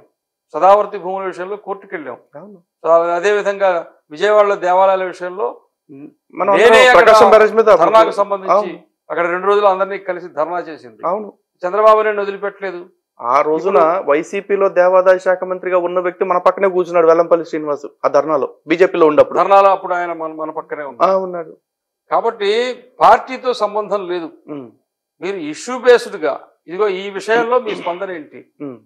ఉదాహరణకి ఒక దగ్గర మసీదుని తొలగిస్తున్నారు దేవాలయం తొలగిస్తున్నారు. మసీదుకి చేసినప్పుడు ముస్లింస్తో ఏ ఏ రకమైన పద్ధతులు చేసుకుంటున్నారు? దానికి ఒక స్థలం కేటాయిస్తున్నారు. దాన్ని వాళ్ళే తీసుకొని పోయి మళ్ళా కట్టుకోవడానికి అవకాశం ఇస్తున్నారు. దానికి నష్టపరిహారం ఇస్తున్నారు. దేవాలయం దగ్గరికి వచ్చేటట్టుగా ఏం చేస్తున్నారు? దేవాలయ ధర్మకర్తల్ని హౌస్ అరెస్ట్ చేస్తున్నారు. భక్తులు ఎవరిని రానికుండా వన్ ఫార్టీ ఫోర్ సెక్షన్ పెడుతున్నారు. అర్ధరాత్రి బుల్డోజర్ తీసుకొని వచ్చి దేవాలయం పడగొట్టేస్తున్నారు. కాబట్టి మనం ఏమంటున్నాం? వాళ్ళకి ఏ మర్యాద గౌరవం ఇచ్చారో ఆ మతం పట్ల ఎలా వ్యవహరించారో హిందువుల పట్ల కూడా అలా వ్యవహరించండి. అంతే అడుగుతుంది. ఇప్పుడు నువ్వు పరిపాలిస్తున్నవాడు ముస్లిం కాదు కదా? మనం గొంతెమ్మ కోరికలు అడగట్లా మన ఆత్మగౌరవం కనీస ఆత్మగౌరవాన్ని కాపాడమనే అడిగేది. దీన్ని రాజకీయంలో లేకపోతే ఇంకొక రకంగా అనుకుంటే దానికి నేను చేయగలిగింది ఏం లేదు. ఎగ్జాక్ట్లీ చాలా మంచి మాట చెప్పారు దానికి మనం చేయగలిగింది ఏం లేదు. నేను తిరుమల గురించి అడుగుతా దేవాలయం గురించి అడుగుతా మీ ప్రభుత్వ సాంఘిక సంక్షేమ పథకాల గురించి నేను ఎందుకు అడుగుతా? మీ పార్టీ సిద్ధాంతాల గురించి నేను ఎందుకు అడుగుతా? అవసరం లేదు. మీ పరిపాలన తీరు గురించి నేను ఎందుకు అడుగుతా? మాకు సంబంధమే లేదు. మనం హిందుత్వం గురించి ఆలయం గురించి అడుగుతాం. దేవాలయము ధర్మము గోవు మత మార్పిళ్ళు దీని గురించి మన పరిధి ఎంతవరకు ఆ పరిధికి సంబంధించి ఏ పార్టీ అధికారంలో ఉన్నా మనం అడుగుతాం. అడుగుతాం. ఖచ్చితంగా అంతే. రెండు వేల పద్నాలుగులో రాజమండ్రిలో సదస్సు జరిగింది. ఎవరు నిర్వహించారు? విశాఖపట్నం స్వామీజీ మన స్వరూపానంద స్వామి వారే అందరినీ ఆహ్వానించారు మేము వెళ్ళాం. అందరం వెళ్ళాం. ఎంవీఆర్ శాస్త్రి గారు వచ్చారు. ఇంకా చాలా మంది వచ్చారు. హనుమాన్ చౌదరి గారు వచ్చారు. పీఠాధిపతులు చాలా మంది వచ్చారు. సన్యాసులు చాలా మంది వచ్చారు. రెండు వేల మందితో రాజమండ్రిలో ర్యాలీ జరిగింది. రాష్ట్రం విడిపోయింది. ఇప్పుడు మనం అందరం కూడా అక్కడ నరేంద్ర మోడీ ప్రధానమంత్రి కావాలా? ఇక్కడ ఈ పార్టీ ఉండాలని చెప్పి స్వయంగా అక్కడ సభ నిర్ణయం తీసుకుంది. ఎవరికి ఓటేయాలని. అవును. అది వ్యక్తిగతంగా తీసుకున్న నిర్ణయం కాదు. అదే రెండు వేల పంతొమ్మిది వచ్చినట్టుకి మళ్ళీ నిర్ణయం మారింది. అప్పుడు ఆ రోజు ఏం చేశారు? అదే స్వామీజీని గురించి చాలా చెడుగా ప్రచారం చేశారు. రెండు వేల పంతొమ్మిదిలో నాకు అనుకూలంగా మాట్లాడితే ఏం చేశారు? మంచోళ్ళు అయిపోయారు. కాబట్టి రాజకీయంగా మీకు అనుకూలం ప్రతికూలం అయినప్పుడు మీరు అటువంటి భావాన్ని వ్యక్తం చేయడం మీకు సహజం. దాన్ని కానీ కూడా మనం విమర్శించాం. అది మనకు ఆపాదించడం కూడా వస్తుంది. అదే మనం ఎవరికైనా ఆపాదించబడుతుంది. అవును. ఇప్పుడు ఒకటి వాస్తవం కదండి బీజేపీ వాళ్ళు వాస్తవానికి కాంగ్రెస్ వాళ్ళలాగానో తెలుగుదేశం వాళ్ళలాగానో వైసీపీ వాళ్ళలాగానో మఠాధిపతుల దగ్గరికి పీఠాధిపతుల దగ్గరికి రారు. వాళ్ళు వచ్చినట్టుగా వీళ్ళు రారు. ఎందుకంటే వీళ్ళు సహజంగానే హిందుత్వానికి సంబంధించిన ప్రతినిధులుగా ఉండే భావన కొంత మన వాళ్ళే అనేటువంటి భావన కొంత ఎంతో మొత్తం మీద రారు. కదా? అవును. వీళ్ళు మా దగ్గరికి రాలేదు కదా అని ఎప్పుడైనా పీఠాధిపతిని అనుకున్నాడా? అనుకోరు. ఒక ఒక సందర్భం వచ్చినప్పుడు సన్నివేశం వచ్చినప్పుడు అవసరం వచ్చినప్పుడు పీఠాధిపతులు బీజేపీకి ఓటేమని పిలుపునిస్తున్నారు. ఎందుకని? ఈ దేశానికి ధర్మానికి వేరే దిక్కు లేదు అనే భావనకు వచ్చినప్పుడు పిలుపునిస్తున్నారు. బీజేపీ వాళ్ళ చడిగారా? పీఠాధిపతుల దగ్గరికి మీకు ఒక సంగతి చెప్పాలి ఒక చారిత్రాత్మకమైన విషయం చెప్పాలి. రెండు వేల పదమూడులో ఇక్కడ మన ప్రయాగ అక్కడ కుంభమేళ జరిగింది. ఆ కుంభమేళలో ఆరు వేల మంది ధర్మాచార్యులతో ఒక సమ్మేళనం జరిగింది. అశోక్ సింఘాల్జీ మన సరసంఘ చాలక మోహన్జీ భాగవత్ గారు అదేవిధంగా మన రాజ్నాథ్ సింగ్ గారు వీళ్ళంతా ఒకే వేదిక మీద ఉన్నారు. నేను కూడా ఆ వేదిక మీదే ఉన్నా. మొత్తం ఆరు వేల మంది మఠాధిపతులు కూర్చున్నారు. ఆయన వీల్ చైర్లో తీసుకొచ్చారు. చాలా అనారోగ్యంతో ఉన్నారు అశోక్ సింఘాల్జీ ఆయన జీవితం అంతా అయోధ్య రాముడి కోసం. వారు రాముడి గురించి దేవాలయాన్ని గురించి పార్లమెంట్లో తీర్మానం చేయాలా? తీర్మానం చేసి దేవాలయం నిర్మాణం చేయాలి. ఇది ఇక్కడ ధర్మాచార్య సభ.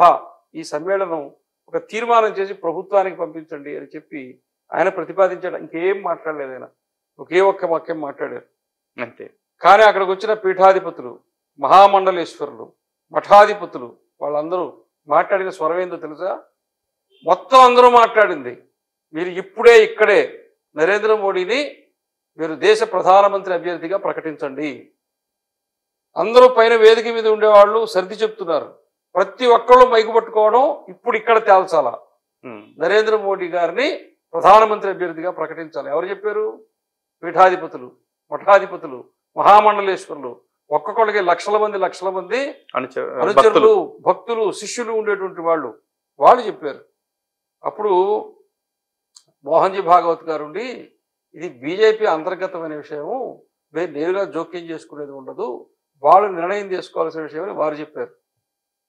రాజ్నాథ్ సింగ్ గారు లేచి మేము పార్లమెంటరీ పార్టీ సమావేశంలో చర్చించి నిర్ణయం తీసుకోవాలి ఇక్కడ నేను ఒక్కడే తీసుకోలేదని చెప్పారు. అప్పుడు ఒక మహామండలేశ్వరుడు ఏం చేశారు తెలుసా? మీ సంగతులన్నీ మాకు తెలుసు కావాలంటే ఒక అరగంట మీకు ఉంటాం మీ ముగ్గురు లోపల పోయి మాట్లాడుకొచ్చి మాకు చెప్పన్నాడు ఆ, వాళ్ళు చెప్పినా చెప్పకపోయినా మొత్తం ధర్మాచారులతో చేతులెత్తి ఓంకారం పలికి నరేంద్ర మోడీయే భారతదేశానికి ప్రధానమంత్రి అభ్యర్థిని ప్రకటిస్తే ఇంతమంది ధర్మాచారులు చెప్పిన తర్వాత మీ అభిప్రాయానికి వేరుగా ఇంకొక అభిప్రాయం ఉండదు అని నేను భావిస్తున్నానని చెప్పి మోహన్జీ చెప్పారు. సూపర్. ఇప్పుడు ఈ దేశానికి ప్రధానమంత్రి అభ్యర్థి ఎవరు నిర్ణయించారు? ఈ దేశ ధర్మాచారులు నిర్ణయించారు. ధర్మాచార్యులు కాబట్టి ఆ రకమైన స్థితిలో ధర్మాచార్యుల నిర్ణయం ఉంటుంది మార్గదర్శనం ఉంటుంది దానికి సంబంధించినటువంటి పని కూడా ఉంటుంది. భవిష్యత్తులో కూడా ఉండాలని కోరుకుంటాం ఉంటుంది. దీన్ని ఎవరు కూడా తక్కువ అంచనా వేయొద్దు. అవసరాన్ని బట్టి అవసరం వచ్చిన దగ్గర నిర్ణయాలు తీసుకుంటారు. ఎక్కడ ధర్మానికి ఎక్కడెక్కడ ఎవరి వల్ల ఎక్కువ నష్టం ఉంటుంది తక్కువ నష్టం ఉంటుంది అని బేరీజు చేసుకున్నప్పుడు దానికి అనుగుణమైన నిర్ణయాలు కూడా ధర్మాచార్యులు తీసుకుంటారు. తీసుకున్నారు. రెండు వేల పద్నాలుగు నిర్ణయం తీసుకున్నారు. రెండు వేల పంతొమ్మిదిలో ఒక నిర్ణయం తీసుకున్నారు. రెండు వేల ఇరవై నాలుగు నిర్ణయం తీసుకుంటారు. ధర్మం పక్షాన నిలబడ్డప్పుడు ఆ వ్యూహం ప్రకారమే వీళ్ళు కూడా నడుస్తారు. ధర్మాచార్యులంతా కూడా తిరుమల తిరుపతి దేవస్థానం విషయంలో ఎందుకు స్పందించట్లేదు గారు అంటే పోనీ స్పందించకపోతే ఇప్పుడు స్పందించే సంస్థలు ఉన్నాయి.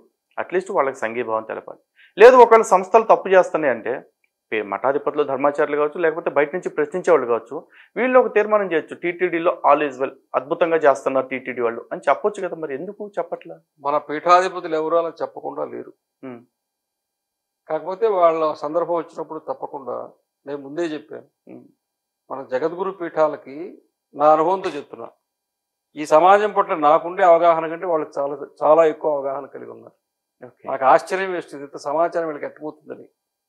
అంత సమాచారం వాళ్ళ దగ్గర ఉంది. ఆ రకంగా స్పందిస్తున్నారు. వాళ్ళ స్థాయిలో వాళ్ళ దగ్గరికి ఏ రాష్ట్రపతి ప్రధానమంత్రి ముఖ్యమంత్రి వచ్చినప్పుడు వాళ్ళ దగ్గర అది చెప్తూ ఉంటారు. వాళ్ళు చిన్నగా ఒక మాట చెప్తే చాలు. మనం బయట వచ్చి పెద్ద ఉపన్యాసం ఉద్యమం మనం ప్రజల్ని లేపడానికి చేస్తాం. వాళ్ళ స్థాయిలో ఏదంటే ఒక మాట చెప్తే అయిపోతుంది వాళ్ళ సంగతి వదిలేండి స్వామి గారు టీటీడీలో జరుగుతున్న దాని గురించి మీ విశ్లేషణ ఏంటి అసలు? తిరుమల తిరుపతి దేవస్థానాన్ని మూడు విధాలుగా చూడాలి. ఒకటి అసలు శాశ్వతమైన స్థిరమైనటువంటి వ్యవస్థ. రెండు ప్రతి సమయంలో జరిగేటువంటి మంచి చెడు. మంచి ఉంటుంది చెడు చెడు ఉంటుంది అసలు మొత్తం చెడు ఉండదు. అసలు మొత్తం మంచి కూడా ఉండదు. తిరుమల తిరుపతి దేవస్థానం అనేది భారతదేశంలో కావచ్చు ప్రపంచంలో కావచ్చు ఒక దేవాలయాన్ని నిర్వహించుకోవటానికి సంబంధించిన పరిపాలనా విభాగంలో ఆదర్శవంతమైన స్థితి ఉంది దాదాపు తొంభై విభాగాలు పనిచేస్తున్నాయి. దాదాపు పదహారు వేల మంది ఉద్యోగస్తులు పనిచేస్తున్నారు. ఒక చిన్న రాష్ట్రం అంత బడ్జెట్ కలిగి ఉంది. కాబట్టి అది బలహీన అదేమో చిన్న విషయం కాదు. గతంలో ఏ పార్టీ అధికారంలో ఉన్నా అప్పుడు ఎవరెవరైతే చైర్మన్లుగా పనిచేశారో వాళ్ళు ఎవరు క్రియాశీల రాజకీయాల్లో లేరు ఆ పీరియడ్లో. ఒక మూడేళ్ళు ఎంతకాలం ఉంటారు ఆ సమయంలో వాళ్ళు క్రియాశీలంగా రాజకీయాల్లో ఉండలేదు. ఒక ఈ సందర్భంలోనే టీటీడీ చైర్మన్గా ఉండడము రాజకీయాల్లో కూడా పట్టించుకోవడం జరిగింది. దీనివల్ల ఎంత సమయం అయితే అక్కడికి పోతూ ఉన్నదో అంత ఇక్కడ దాని శ్రద్ధ తగ్గింది. ఇది ఒకటి భాగం. ప్రస్తుతం నా ప్రాబ్లమ్ శ్రద్ధ ఒకటే గారు మొన్న జరిగిన బోర్డు మీటింగ్లో చూస్తే తిరుమల తిరుపతి దేవస్థానం నిధులు మనం దేవాలయం కోసం ఆ దేవాలయ వ్యవస్థ నడవటం కోసం ఇస్తున్నాం. దాన్ని కొంత భాగాన్ని నగరాభివృద్ధికి వాడుకుంటే మనకు అభ్యంతరం లేదు.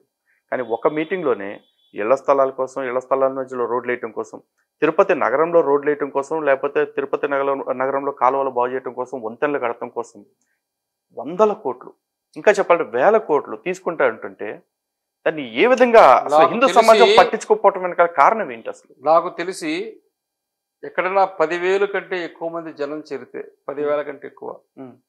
అక్కడ సంబంధించిన అన్ని ఏర్పాట్లు ప్రభుత్వం చేయాలి. ఎగ్జాక్ట్లీ ఎందుకంటే ఒక రకమైన ట్యాక్స్లు కాదు. అనేక రకాల ట్యాక్స్లు కడుతున్నాం. ఇన్కమ్ ట్యాక్స్ కడుతున్నాం. వ్యాట్ కడుతున్నాం పెట్రోల్ మీద. జిఎస్టీలు కడతా ఉన్నాం. డైరెక్ట్ ట్యాక్సెస్ కావచ్చు ఇండైరెక్ట్ ట్యాక్సెస్ కావచ్చు ఎన్నో కడుతున్నాం. వీటన్నిటికీ ప్రభుత్వం చెప్పే లెక్క ఏంటంటే మౌలిక వస్తువుల అభివృద్ధి కోసం అంటది. అరే అక్కడ భక్తులకే కాదు ప్రజలకి కావాల్సిన మౌలిక వస్తువులు నువ్వే కదా చూడాలి మరి? ఇప్పుడు రెండు వేల నాలుగు ఐదు ఆరు మనం ఉద్యమం చేసిన ఫలితం రెండు వేల తొమ్మిది మేనిఫెస్టోలోనే అన్ని రాజకీయ పార్టీలు దేవాలయాల గురించి పెట్టారు. రెండు వేల పద్నాలుగులో పెట్టారు. అవును స్వామి రెండు వేల పంతొమ్మిదిలో పెట్టారు. కానీ ఆచరణలో లేదు. ఆచరణలో వ్యవహరించట్లేదు. ఇప్పుడు ఈ ఈ రకమైన తిరుమల తిరుపతి దేవస్థానంలో వచ్చిన సమస్యలు ఉన్నాయి. అక్కడ వ్యవస్థ గత మూడు నాలుగు సంవత్సరాలుగా బలహీనపరిచింది వాస్తవం. ఉమ్, వాళ్ళది ఒక గోశాల కట్టించారు లేకపోతే ఈ పో అగరబత్తులు తయారు చేస్తున్నారు లేకపోతే నవనీతాన్ని తయారు చేసి దేవుడికి ఇచ్చేస్తున్నారు లేకపోతే సేంద్రియ పద్ధతిలో పండించినటువంటి బియ్యాన్ని తీసుకొస్తున్నారు. ఇవన్నీ కాదన్న అందుకే మంచి జరుగుతున్నది చెప్పింది. కానీ అసలు భక్తులకి మౌలిక సదుపాయాలు కల్పించడంలో విఫలమయ్యారు. సాధారణ భక్తులకి దర్శనం చేయించడంలో విఫలమైనారు. ఒక క్రమశిక్షణ అనేటువంటిది లేని వాతావరణం నిర్మాణమైంది. భక్తులతోటి వ్యవహరించే తీరులో మాట తీరులో మార్పు వచ్చింది. అక్కడ ఉండేటువంటి భద్రతా సిబ్బంది భక్తులతోటి దురుసుగా ప్రవర్తించటము కొట్టటము బాగా. అసలు తిరుమల చరిత్రలో తిరుమల తిరుపతి దేవస్థానం చరిత్రలో భక్తుల మీద లాఠీ చార్జీ జరిగిందా? మరి? అలిపిరి దగ్గర లాఠీ చార్జీ జరిగింది. కాబట్టి ఇవన్నీ అక్కడ భక్తుల పట్ల ఎంత అంటే భగవంతుడు అంటే ఆపద్ బాంధవుడు. అనాథ రక్షకుడు అని చెప్తారు. ఆ రక్షకుడి దగ్గరకు వస్తేనే అక్కడ రక్షిస్తామని చెప్తున్న వాళ్ళే కొడతా ఉంటే ఇవన్నీ ఇవన్నీ జరుగుతూ ఉన్నప్పుడు ఖచ్చితంగా అడగాల్సిందే నిలదీయాల్సిందే మార్చాల్సిందే. మొహమాటం లేదు. ఎందుకంటే మనం ఉండేది దానికోసమే. వేరే. పనేం లేదు. ఖచ్చితంగా. బహుశా అట్లాంటి పోరాటాన్ని సహించలేక కొంతమంది ముద్రలు ఈ కుట్రలు ఇవన్నీ చేస్తున్నారేమో అనిపిస్తూ ఉంది. ప్రశ్నను తట్టుకోలేక ప్రశ్నను స్వాగతించలేక. ఉంటుంది తప్పకుండా ఉంటుంది. ఇప్పుడు ఈ ప్రభుత్వంలోనే ఎవరైనా కొద్దిగా విమర్శిస్తే వాళ్ళ మీద కేసులు పెట్టి జైలుకు పంపించారు. ఉన్నారు.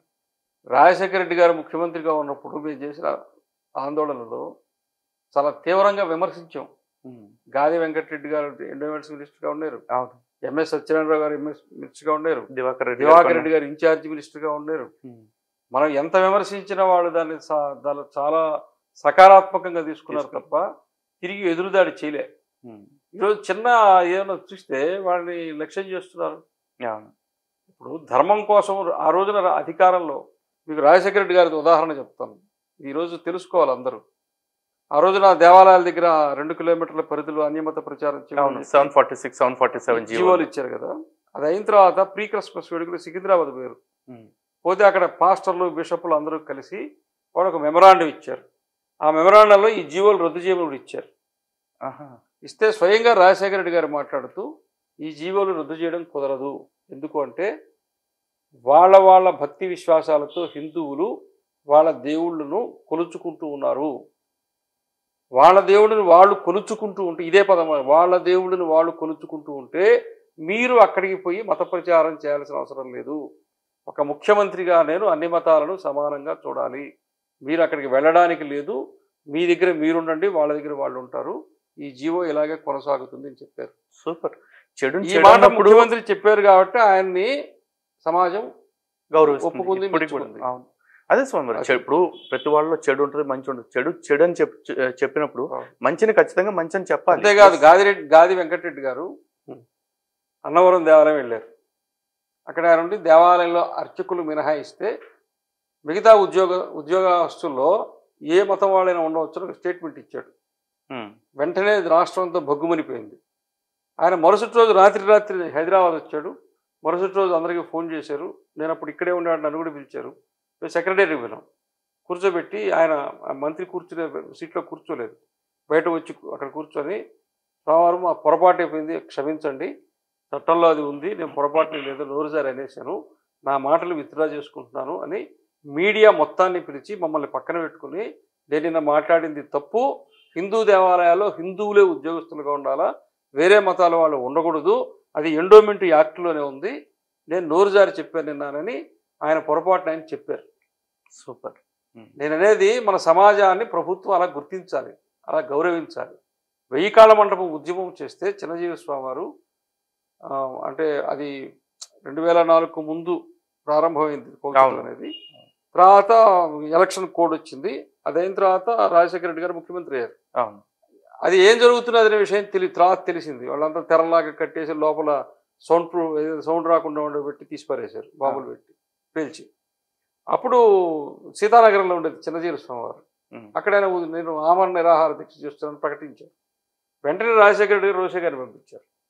రోషే గారు చిరంజీవి స్వామితో మాట్లాడి త్రిసభ్య కమిటీ వేశారు. పిఆర్కే ప్రసాద్ గారు ఇంకొక ఇద్దరు ఐఏఎస్ ఆఫీసర్ రిటైర్డ్ ఆఫీసర్ వాళ్ళు కూడా ఈవోలకు పనిచేశారు. త్రిసభ్య కమిటీ వేసి నేనేమన్నానంటే మీరు ఎవరైనా ఏదైనా మాట్లాడితే వాళ్ళు ఒక సేఫ్టీ వాల్వ్. దీన్ని సమాజంలో ఇంకా కొంచెం పెరగకుండా ఏం చేయాలా అని చెప్పి దాన్ని పరిష్కారం చేయడానికి ఒక వ్యవస్థను ఏర్పాటు చేసుకొని చేశారు. అవును. ఈ రోజు కానీ ఎవరైనా మాట్లాడితే నువ్వు ఎట్ట మాట్లాడుతున్న సంగతి చూస్తా ఉంటే ఎట్టా? అంతే ఎదురుదాడి అయిపోతుంది పరిష్కారం చూపించడం మానేసి. ఇప్పుడు మీకు రాజకీయ అనుభవం లేక మీకుండే మీకు అవగాహన మీ అవగాహన రాహిత్యంతో మీరు సంస్థల్లో సిద్ధాంతాన్నో ఉద్యమాన్నో మీ మీ దృష్టితో చూస్తే ఎట్ట అర్థమవుతుంది? ఎగ్జాక్ట్లీ కానీ ఇది వరంగా భావిస్తున్నా నేను. మీరు ఇలాగే చూడండి. మీరు ఇలాగే హిందువులను అనచండి మా హిందూ ఓటు బ్యాంకు పెరుగుతుంది. ఎందుకంటే సమాజంలో చర్యకు ప్రతిచర్య ఉంటుంది. కళ్యాణ్ సింగ్ ముఖ్యమంత్రిగా ఉన్నారు అయోధ్య ఉద్యమం కారణంగా. మొదటి కరసేవ తర్వాత? మొదటి కరసేవకు ఎవరున్నారు? ములాయం సింగ్. కరసేవకుని కాల్పించాడు. అవును. రెండో కరసేవకు ఎవరున్నారు? కళ్యాణ్ సింగ్. కళ్యాణ్ సింగ్. కళ్యాణ్ సింగ్ ఏం చెప్పారు? నా పీఠం నా అధికారం పోయినా సరే కరసేవకుల మీద కాల్పులు ఉండవు. చెప్పాడు. కరసేవ జరిగిపోయింది. Article three fifty six. Uttar Pradesh government పోయింది మధ్యప్రదేశ్ గవర్నమెంట్ పోయింది రాజస్థాన్ గవర్నమెంట్ పోయింది. మొత్తం రద్దు చేసేసారు. ఉత్తరప్రదేశ్ అర్థం చేసుకోవచ్చు ఈ రెండు రాష్ట్రాలు ఎందుకు రద్దు చేశారు? ఎందుకు చేస్తారు? అయిందా? అయిన తర్వాత మళ్ళా అఖిలేష్ వచ్చాడు ముఖ్యమంత్రిగా. హిందువులు ఎంత హింస పెట్టారు? ఉమ్, గ్రామాల్లో నుంచి తెరవేశారు. మహిళల మీద దాడులు జరిగినాయి. ఇష్టారాజ్యంగా ఒకరిని ప్రోత్సహించారు ఒక మతాన్ని. ఆ దాడులు పెరిగాయి. హిందువులకు కోపం వచ్చింది. కాశీలో ఈరోజు ప్రధానమంత్రి ప్రధానమంత్రి గారు ప్రాతినిధ్యం వహించేటువంటి కాశీలో స్వామీజీలని సన్యాసులందరినీ లాఠీచార్జ్ చేసి కొట్టారు. కింద పడేసి లాక్కొని పోయారు అవును. పర్యవసానం ఏంది? ఈరోజు ఉత్తరప్రదేశ్లో కాషాయం కట్టుకున్నాడు ముఖ్యమంత్రి కూర్చున్నాడు. మీరు. దింపగలరా ఇప్పుడు ఇంకా? దింపగలరా. కాబట్టి హిందువులను హింసిస్తే వాళ్ళు దానికి సమాధానం వేరే విధంగా చెప్పేటువంటిది దేశంలో ప్రారంభమైంది. అది ఉత్తరప్రదేశ్ అయినా కర్ణాటక అయినా అస్సాం అయినా హిమాచల్ ప్రదేశ్ అయినా మహారాష్ట్ర అయినా గోవా అయినా. అందువల్ల రాబోయే రోజుల్లో ఈ రకంగానే మీరు ప్రవర్తించండి మాకు కావాల్సింది కూడా ఇదే. మేము చేసే పరి మేము చేసే ప్రయత్నం వల్ల పది ఇరవై ఏళ్ళలో అయ్యేది. మీ వల్ల నాలుగైదు సంవత్సరాలు అవుతుంది కాబట్టి మరింత విమర్శించండి మరింత హింసించండి మరింత అణగదొక్కండి. మా పని సులభం అవుతుంది. సూపర్. చాలా సంతోషం. ఈ మార్పు రావాలని కోరుకుంటున్నాం స్వామివారు. అదేవిధంగా ఈరోజు మన హిందూ జనశక్తి కార్యాలయానికి వచ్చి మమ్మల్ని ఆశీర్వదించి మిమ్మల్ని ఇంటర్వ్యూ చేసుకునే భాగ్యాన్ని ఇచ్చినందుకు మరొకసారి మీకు శిరస్వంచి పాదాబంధనాలు తెలియజేసుకుంటున్నాను స్వామివారు.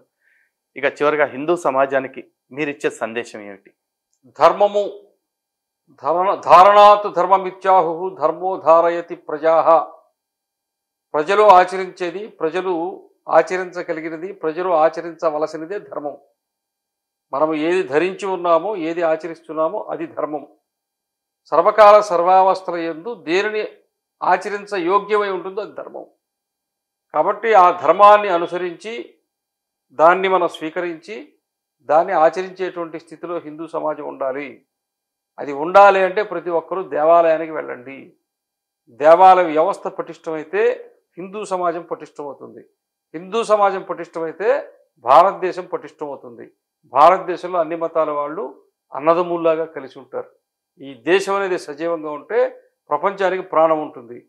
ఈ దేశం బలహీనమైతే ప్రపంచం బలహీనం అవుతుంది ప్రపంచాన్ని కాపాడడానికి భారతదేశం స్థిరంగా ఉండాలా? భారతదేశం స్థిరంగా ఉంటే హిందువు శక్తివంతంగా ఉండాలా? కాబట్టి హిందువులు ధర్మాన్ని ఆచరించాలి హిందువులు ఐకమత్యంగా ఉండాలి హిందువులు ఓటు బ్యాంకుగా తయారు కావాలి. సూపర్. చాలా మంచి విషయాలు తెలియజేశారు స్వామివారు. మరొకసారి ధన్యవాదాలు మీకు. హిందూ బంధువులందరికీ జై శ్రీరామ్ భారత్ మాతకి జై.